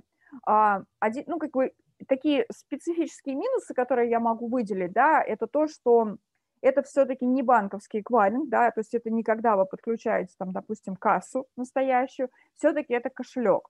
А, это пока для меня не очень понятный на самом деле продукт. С одной стороны, я доверяю э, Сбербанку, я доверяю там, Яндексу, да, и то есть у меня никаких вопросов к тому, что они могут там с моими деньгами куда-то там исчезнуть. Нет, но тем не менее нужно понимать, что хранение средств на этом кошельке – это никакими страховыми законами, да, соответственно, э, не регулируется, да. А второй момент – это лимиты по хранению. Да? Но я вам показала, что, в принципе, лимиты по хранению идентифицированного кошелька полмиллиона, то есть, в принципе, это более чем достаточная сумма, но, тем не менее, нужно понимать, что они есть. Третий момент – это то, что вывод средств кошелька, к сожалению, платный. И вот это, наверное, самый неприятный момент, потому что помимо платы за эквайринг, 2%, об этом, кстати, я забыла, по-моему, сказать на, на предыдущем слайде, 2% эквайринг, то есть, соответственно, человек платит вам 1000 рублей, а вам на счет приходит 980, да, на 2% меньше. Помимо платы за эквайринг вы платите еще комиссию за вывод, да, и она составляет 3% плюс 45 рублей. Вот это, наверное, небольшой такой нюансик. А, и четвертый минус – это предупреждение о том, что вы переводите физическому лицу, которое появляется при оплате, а, да, когда человек оплачивает счет вам. Э, это тоже такой, знаете, специфический момент, но тем не менее у меня были случаи, когда ко мне обращались и говорили, Лена, вот, вы знаете, здесь выскочило такое окошко, а можно ли платить? Там точно можно этому доверять, да? То есть у некоторых возникает такое небольшое недоверие. Это на самом деле для меня тоже стало одним из решающих факторов, почему я, собственно, перешла с этой системы. А еще, наверное, один маленький нюанс скажу что по поводу, как избежать комиссии за вывод средств. Да, у э, Юмани есть возможность заказать карточку. Выглядит она обычной пластиковой банковской карточкой. Э, стоит она всего-навсего там 399 рублей на 3 года – и вы можете с этой карточки абсолютно спокойно, так же, как любой банковской карточкой, расплачиваться в магазинах, оплачивать покупки в интернете без каких-либо ограничений. Более там, вот там даже различные кэшбэки есть. А, и, э, собственно говоря, а, главное то, что еще с нее можно еще денежку 10 э, тысяч в месяц э, снимать абсолютно бесплатно. А, вот, это, собственно говоря, так, как я пользовалась до некоторых пор – но потом поняла, что все-таки суммарно по, вот, ну, скажем так, вот этим всем моментам мне показалось, что нужно искать какую-то более серьезную систему, и, собственно говоря, я обнаружила, что еще с апреля 2019 года Яндекс Касса, а, которая теперь называется ЮКасса, тоже выкупил Сбербанк, а, позволяет работать с самозанятыми, да, и Яндекс Касса, я думаю, что вы неоднократно сталкивались с этим сервисом, это достаточно солидная платежная система, которая у многих на самом деле юридических лиц на сайтах стоит. И, собственно говоря, все ровно так же выглядит у меня теперь на сайте. Да? Все очень солидно, все очень красиво и хорошо. А здесь э, тарифы на, собственно говоря, прием средств чуть-чуть выше, но, а, как вы видите, да, это там 3,5% по картам, ну, карт, с карты в основном все и платят, конечно же, да, но плюс состоит в том, что вам ничего не нужно платить за вывод средств. То есть деньги, которые вам заплатили на сайте, сразу же, ну, точнее, на следующий день, если в выходные заплатили, то в понедельник вам присылают в районе а, обеда, обеда где-то в 2 часа дня примерно, на ваш счет в банке. Да. У меня, например, а, счет сейчас в Тинькофф банке, да, соответственно, я эти деньги вижу у себя буквально на следующий день за вычетом а, комиссии за эквайринг, конечно же, да, за вычетом вот этих вот 3,5%.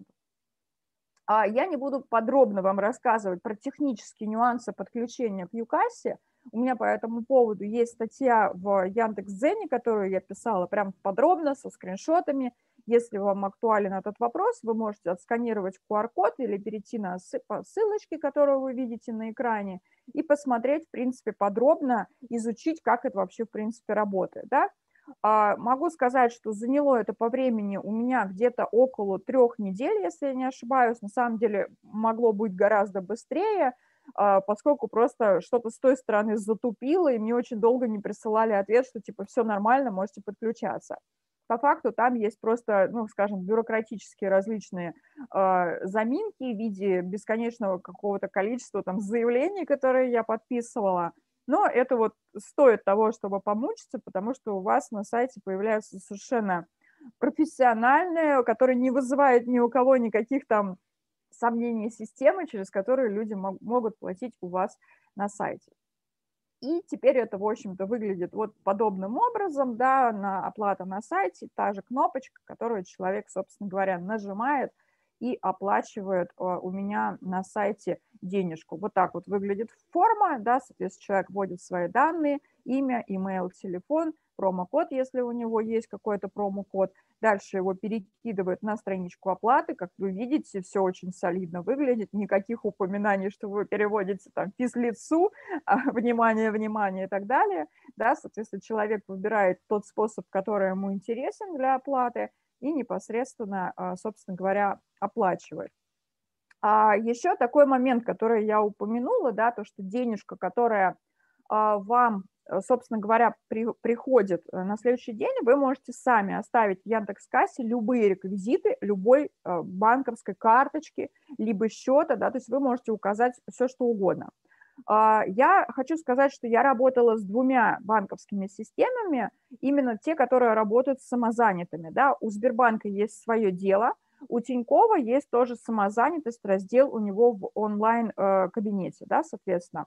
И я перевела э, через некоторое время со Сбербанка на Тиньков, э, потому что э, именно из-за того нюанса, который я вам говорила, то, что деньги на карточку приходят за вычетом платы за эквайринг. И поскольку мы самозанятые должны платить налог с полной суммы, который клиент нам платит, а он платит у меня, допустим, там, 1000 рублей, приходит мне 975, да, соответственно, мне система автоматического отчисления, которая есть у Сбербанка, не подходила, сейчас я пользуюсь Сбербанком, э, Тиньковским банком, да, либо делаю вручную. Вот так выглядит в Тинькове, да, у вас, соответственно, вот приходит пополнение из Яндекс Деньги, и напротив есть кнопка «Заявить доход», и, соответственно, заявляя доход, вы автоматически отправляете деньги в налоговую. Ну, как я уже сказала, я этой системой не могу пользоваться, потому что за вычетом эквайринга приходят деньги. Вот, и, собственно говоря, выводы по этому блоку, которые я могу вам сказать, то что первый минус, с которым я столкнулась, что систем для эквайринга, к сожалению, гораздо меньше для самозанятых, чем для ИП либо ООО, да, а, и собственно говоря, процент, э, который мы платим за эквайринг, он чуть-чуть выше, именно в силу того, что, а, ну, скажем так, предложения на рынке не так много, конкуренция среди не очень высокая. И пока, пока на текущий момент времени я еще не встретила идеального решения. Я продолжаю периодически мониторить рынок и смотреть, что появляется нового. Вот сейчас могу сказать, что я обнаружила сервис, который называется Pay Anyway. Возможно, кто-то из вас его тоже знает. А если вы пользуетесь, прям вот будет здорово, если поделитесь со мной информацией, как он вам, потому что кажется, кажется, что он помогает как раз-таки автоматически регистрировать чеки, чтобы прямо на сайте после оплаты человеку, который вносит средства, отправлялся чек, и мне не нужно было это делать вручную. Если это так, это просто огонь, но Any Pay Anyway – это как раз-таки, опять же, такие не банковская коммерческая организация со всеми вытекающими особенностями, о которых я раньше говорила, поэтому я пока мониторю отзывы, изучаю, что это за зверь, и, быть может, когда-то в будущем с вами поделюсь а, да, опытом уже использования другой системы. А следующий блок, о котором мы с вами поговорим, это работа с юридическими лицами. Как я уже сказала, я работаю как а, скажем так, маркетолог-аутсорсер, то есть помогаю компаниям, которые связаны с туризмом, с туристической деятельностью, а, собственно говоря, а, в маркетинге, в продвижении. И э, для того, чтобы работать с юрлицами, мне необходимо предоставлять компаниям определенный пакет документов. Являюсь ли я... А, юрлиц можно, в принципе, проскочить, о них мы ранее уже рассказывали. Окей, окей, хорошо. Э, тогда я буквально вот э, две секундочки и заканчиваю. Ага, э, да, если как бы этот вопрос уже рассматривался, я не буду рассказывать про да, всю свою систему, я только могу, наверное, сказать буквально пару слов, что я нашла бесплатный сервис, который называется сервис-online.su, с помощью которого я создаю счета и создаю акты, собственно говоря, которые передаю клиентам. Да, то есть мне это очень сильно упростило жизнь, потому что я туда прямо в личный кабинет ввела все сведения о своих поставщиках, э, точнее, о своих заказчиках, да, и мне нужно просто выбрать э, в, мой, в организациях ту компанию, с которой я работаю, и я ей автоматом выставляю чек на оплату. То же самое акт выполненных работ, я просто нажимаю кнопку э, «Создать закрывающий документ», и мне автоматически формируется акт по моему счету, который я выставила, да, Мне очень нравится эта система, я ее как бы всем, с кем общаюсь самозанятыми, рекомендую, потому что она очень сильно упрощает жизнь за счет вот этой автоматизации. И выглядит вполне себе интерфейс, скажем так, user-friendly, и, а, в общем-то, как бы мне более чем хватает ее а, бесплатных ресурсов для того, чтобы без проблем работать с юридическими лицами. Об этой системе я тоже писала в своем блоге на Яндекс.Дзене. Если вам интересно посмотреть, как это работает, э, как я выставляю вот эти вот все чеки, акты, вот эти пакеты закрывающих документов, то тоже можете а, перейти по ссылке, посмотреть, почитать, если вам актуален этот момент. А, ну, собственно говоря, вот это все я, наверное, останавливаться не буду про то, как выбить чек, поскольку я полагаю, что все это вам уже наверняка рассказывали сегодня. А, могу сказать, что с юридическими лицами, вопреки моим ожиданиям, у меня никаких проблем вообще не возникало, да, поскольку первое время, конечно, очень многие бухгалтеры немножко пугались и говорили, что а что, а как, а там, да, что это за статус такой, э, а почему у вас нет ИП и так далее, то сейчас я могу сказать, что таких вопросов становится все реже, ну, может быть, иногда возникают какие-то вопросы а, от, а, там, из регионов, которые только-только подключились, да, но при этом надо сказать, что информации сейчас море и на бухгалтерских различных ресурсах, а так о том, как работать с нами, с самозанятыми, поэтому такого, чтобы мне прям отказали в сотрудничестве, не возникало еще пока ни разу. Для меня это, в принципе, показательно. Ну и, собственно говоря, мои выводы за два года, о которых я обещала вам рассказать, э, да, что для, для меня, как человека, который уже достаточно давно в этом статусе работает, сейчас на текущий момент времени, а пока у меня э, доходы не дошли до 2,4 миллионов в год, да, я считаю, что это практически идеальный на самом деле статус. А, я не, у меня нет сотрудников, да, то есть я никого не нанимаю в качестве там, подрядчиков, субподрядчиков. А, да, периодически иногда приходится объяснять да, компаниям, там, различным бухгалтерам там, или, или подобно там, сотрудникам, которые, собственно говоря, вот с этими документами со всеми работают, о том, что это за зверь. Но, в принципе, в целом никаких особых таких а, проблем в этом статусе не возникает. Ну, про эквайринг я вам все рассказала, я уже тоже говорила о том, что постоянно система новая новые появляются. И я думаю, что новые классные системы платежные для сайтов тоже в скором времени появятся, и этот вопрос тоже будет снят. В общем-то, наверное, я поделилась всем опытом, который у меня был. Если что, подписывайтесь на мой канал в Яндекс.Дзене, где я пишу, собственно, про самозанятость. Кроме того, я создала группу самозанятых на Фейсбуке. Если вы есть в Фейсбуке, присоединяйтесь, буду рада видеть вас. Если есть какие-то вопросы, то я готова на них ответить.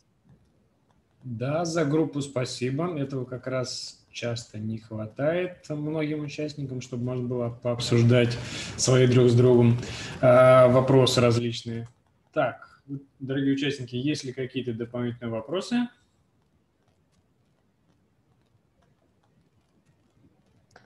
А, да, можно мне задать вопрос?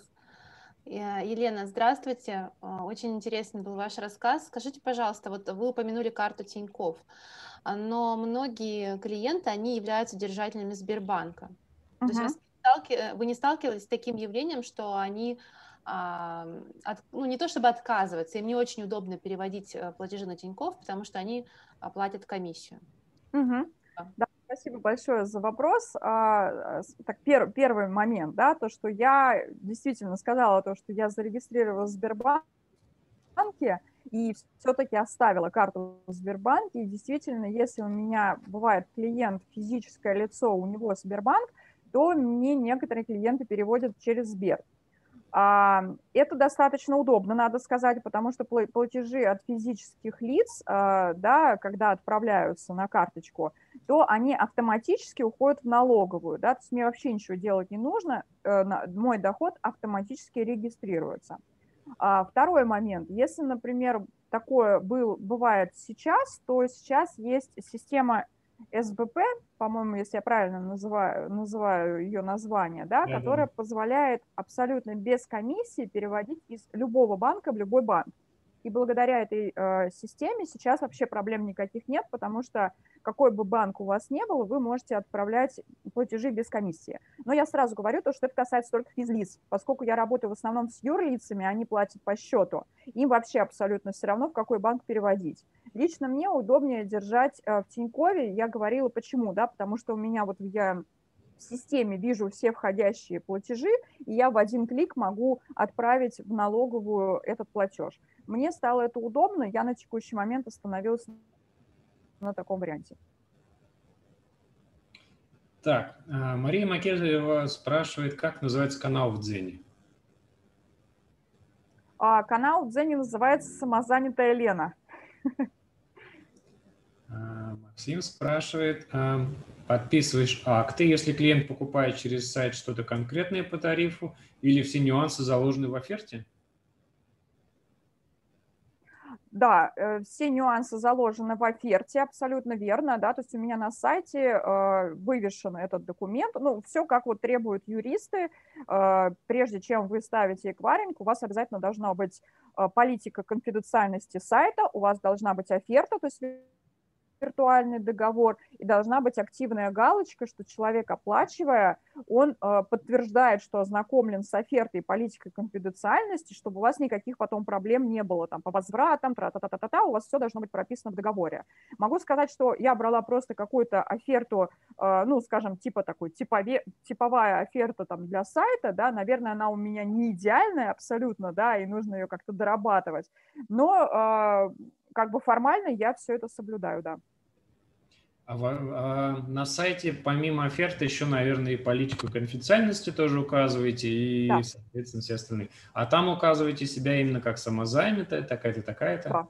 Да, конечно, да, самозанятая, ну, как вот мы в договоре прописываем, да, самозанятый, ННН такой-то, а, там, согласно справке такой-то, от такого-то числа выданной такой-то налоговой инспекции, вот это вот все, вот эта фраза, mm-hmm. ну, я так поняла, что вы про юридические вот эти вопросы уже обсуждали, да, да, и вот эту вот всю фразу в оферте в том числе мы вставляем. Ну, это то же самое, что договор, только виртуальный договор, который человек подписывает, ставя галочку в окне э, оплаты. И в данных, наверное, про оператора персональных данных тоже. А, вот я помню, что в политике конфиденциальности э, сайта, да, там э, указывается, соответственно, какие данные собираем и для чего – и, э, соответственно, где данные хранятся, то есть там, да, есть определенные как бы требования к вот этим юридическим документам. Э, ну, тут, конечно, я не юрист, я не смогу прокон проконсультировать по этому поводу. Я вот сделала документы на основе на каких-то типовых э, шаблонах, да, которые нашла в интернете, и э, сделала по образу и подобию. Возможно, конечно, если юрист посмотрит, скажет, что у меня просто ужас и кошмар, все нужно срочно переделать, но пока, тьфу-тьфу-тьфу, слава богу, у меня вот за два года еще не было прецедентов. Ну, было там пару раз возвраты, но я как бы, ну, если человеку что-то не понравилось, мне проще вернуть, скажем так, несмотря на то, что, может быть, у меня там написано в оферте, что я не возвращаю деньги, например, за какие-то там услуги. Понятно. Так, а, вопросы вроде бы закончились. Елена, спасибо за выступление. Было интересно, было полезно. А, будем рады, если сможете выступить у нас и на 16 Хорошо, спасибо большое за приглашение. И, коллеги, всем успехов, удачи. Если какие-то будут вопросы, пишите, не стесняйтесь, спрашивайте. Всем пока, счастливо. Спасибо. И, как многие из вас уже заметили, у нас в эфире появился еще один человек. Это наш следующий спикер, Анна Важарская. Мы поговорили уже про самозанятость в консалтинге, мы поговорили про самозанятость э, в интернет-маркетинге. А теперь мы перешли к следующему блоку, к следующему типу бизнесу, к образованию. Потому что это достаточно большой а, пласт информации, большой пласт бизнеса, образовательные би- направления. И вот как раз Анна, как учитель английского, как блогер, расскажет, как она работает в, в этом направлении. Анна, раскрывайте нам показ слайдов, чтобы было удобнее на весь экран. А, посмотрите, пожалуйста, я запустила что-то... Вот наверху показ слайдов. Попробуем. Так, подожди. Значит, у меня еще грузится, Олег. Да. Он загружается, да, потому что... Чтобы он раскрылся на, на, на весь экран. Ну, сейчас у меня, вот на моем экране он на весь. Я не знаю, почему по-другому у вас выглядит. И другой кнопочки у меня нет. Хотела всех поприветствовать. Всем здравствуйте. Да, а, можно узнать, есть ли здесь э, репетиторы, либо учителя, которые работают с физическими лицами. Может быть, как-то в чате вы можете помахать, чтобы было понятно, что тема интересна. А, я на самом деле буду говорить недолго, у меня короткая презентация, потому что я преподаватель и не совсем тот человек, который разбирается в налоговых системах, либо в правовых системах. А, Хочу вам показать свою историю. Сейчас, секунду, меня немножко подвисает компьютер. Ага, вот. Вы видите, что у меня достаточно большой трудовой стаж. Я уже более 19 лет занимаюсь английским. А, это мой хлеб, это то, что я умею делать и делаю хорошо. А, с 2000 года я учусь, в, училась в педагогическом Анна, Анна, извините, ага. у нас... Ничего, ничего не видно. Да, нажмите «Разрешить редактирование» наверху. Видимо, из-за этого проблема. Угу, все, вижу.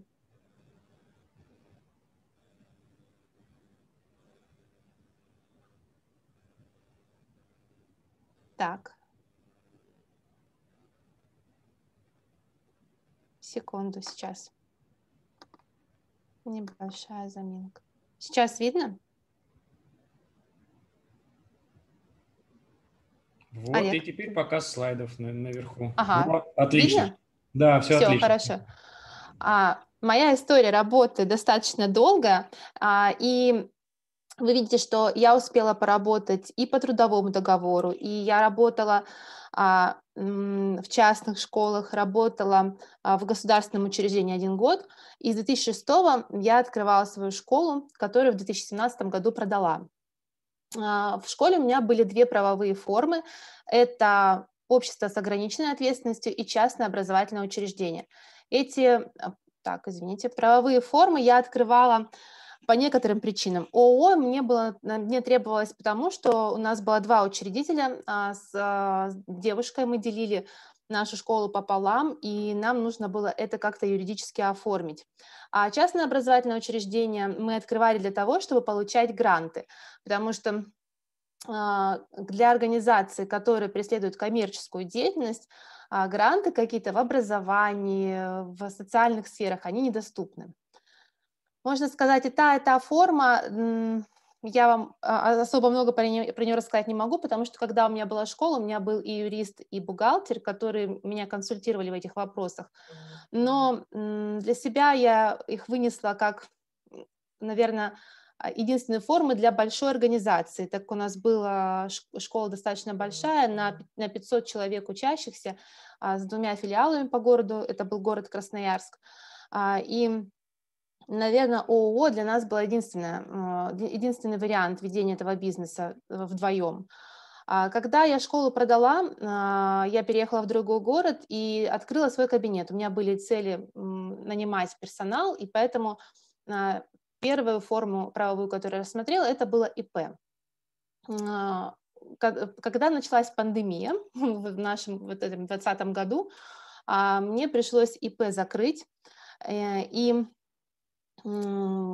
После, а, когда я переехала уже, мне не было ни кабинета, я переехала работать домой, что, собственно, сейчас и делаю. Я стала развивать свой блог, а, продавая свои марафоны, курсы. А, мне хотелось это все легализировать. И я выбрала для себя форму самозанятой. Сейчас я вам представлю вот здесь на экране сравнение формы индивидуальный предприниматель и самозанятый. И вы можете посмотреть, в чем разница, в чем преимущество для себя, как я вам уже объяснила, человека, который совершенно не понимает э, в, вот в этих всех нюансах, в отчетностях, а, форма самозанятой была, наверное, самым удачным вариантом, потому что а, мне потребовалось только установить э, приложение на телефон, а дальше я оформила заявление, зарегистрировалась онлайн, мне понравилось очень, что есть льготный период, а, есть а, возможность получать бонус, то есть там дается 20 тысяч рублей, с которых списываются мои налоги.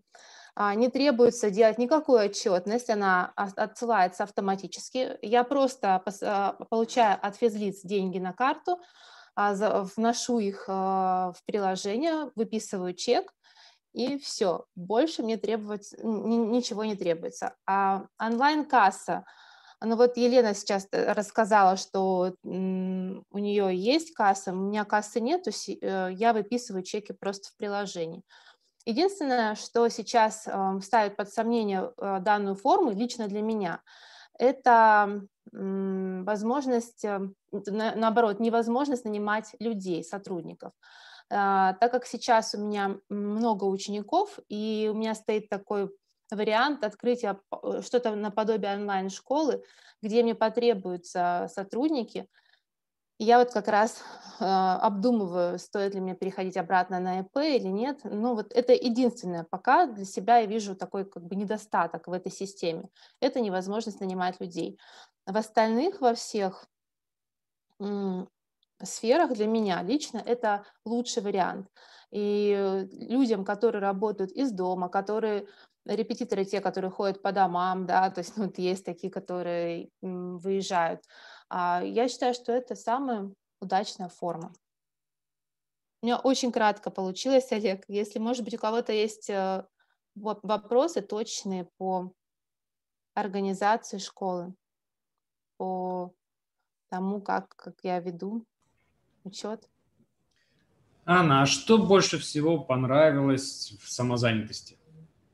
Ну, вот лично для меня, я уже сказала, это легкость. Именно легкость э, в заполнении документов, потому что есть, наверное, разные типы людей, э, и когда ты работаешь в команде, у тебя есть бухгалтер, которому ты делегируешь полностью вот эти все таблицы и отчеты, и когда ты оказываешься один, ты ведешь занятия, а, у меня занятия обычно недостаточно креативные, я придумываю какие-то формы обучения интересные, а, я туда трачу все свои силы. И когда я открыла ИП сама, и мне нужно было писать отчеты, я помню, как мне мои знакомые, они говорят, ну что здесь такого, ты возьми просто и заполни, там форма такая-то, скачай там-то. Для меня вот эти вот все переход на разные сайты, скачивание, заполнение, они ну, тяжелые. Я не знаю, есть, наверное, такие люди, которые также испытывают а, в заполнении таблиц какую-то проблему. И когда я открыла для себя форму самозанятия, я подумала, отлично, просто это мой вариант. Ты заходишь в приложение, занес сумму, а, написал а, появление, то есть откуда эти деньги, там урок английского, пишу, там абонемент, там кто-то покупает курс, и все. Ну, то есть вроде Это бы простота использования. на дуде и грец, но вроде бы все очень просто. Понимаете, да, то есть ты вроде все честно сделал, да, ты занес свои доходы, ты их не скрыл, а, у тебя там спишь спокойно, и у тебя все заполнено, идет какая-то отчетность, плюс а, справки необходимые мы с супругом, допустим, там на получение какой-нибудь ипотеки, да, либо нам нужно для ребенка в садик предоставить справки, я тоже могу это сделать. А, то есть я официально работаю, то есть это фиксируется. Я не просто где-то там скрываюсь и а, скрываю свой доход. Пальцем грозите уклонистам от налогов? Нет, я никому не грожу, никогда никого не осуждаю, потому что там у меня был тоже такой пункт, когда я была студенткой, я работала и в частных школах, и репетитором. И, и, будучи студенткой, я, может быть, даже и не знала, что, ну не то чтобы прям совсем не знала, что надо а, свой доход легализировать, но как-то я об этом не задумывалась, поэтому никому не грожу. А, но я для себя э, эту систему определила как самую простую пока. Поэтому тем коллегам, которые занимаются репетиторством, а, плюс еще там есть а, ряд, ну, перечень работ, которые могут быть самозанятыми. А, пожалуйста, это для вас будет та самая легкая система. Анна, спасибо. Коллеги, спасибо есть ли вопросы к Анне? Да, я пока не вижу, тоже чат открыла, посмотреть. Хорошо, видимо, пока вопросов нет. Анна, спасибо за выступление. Спасибо. Уважаемые участники, а, спасибо за ваше участие. И к вам есть большая просьба. А, поставьте, пожалуйста, а, циферками в чате то, насколько вам сегодняшний вебинар, сегодняшнее занятие было для вас полезным. От, от 1 до 5. Ну, 5, соответственно, это отлично, вам все понравилось. Ну и, конечно, один, если ничего не понравилось и все было скучно, бесполезно и неинтересно, чтобы мы посыпали голову пеплом и старались сделать что-то вау замечательного. Всем спикерам большое спасибо. Будем рады видеть их э, на наших следующих мероприятиях, на наших следующих занятиях. И мы пока собираем от вас оценки. А я с вами прощаюсь и до новых встреч. До свидания.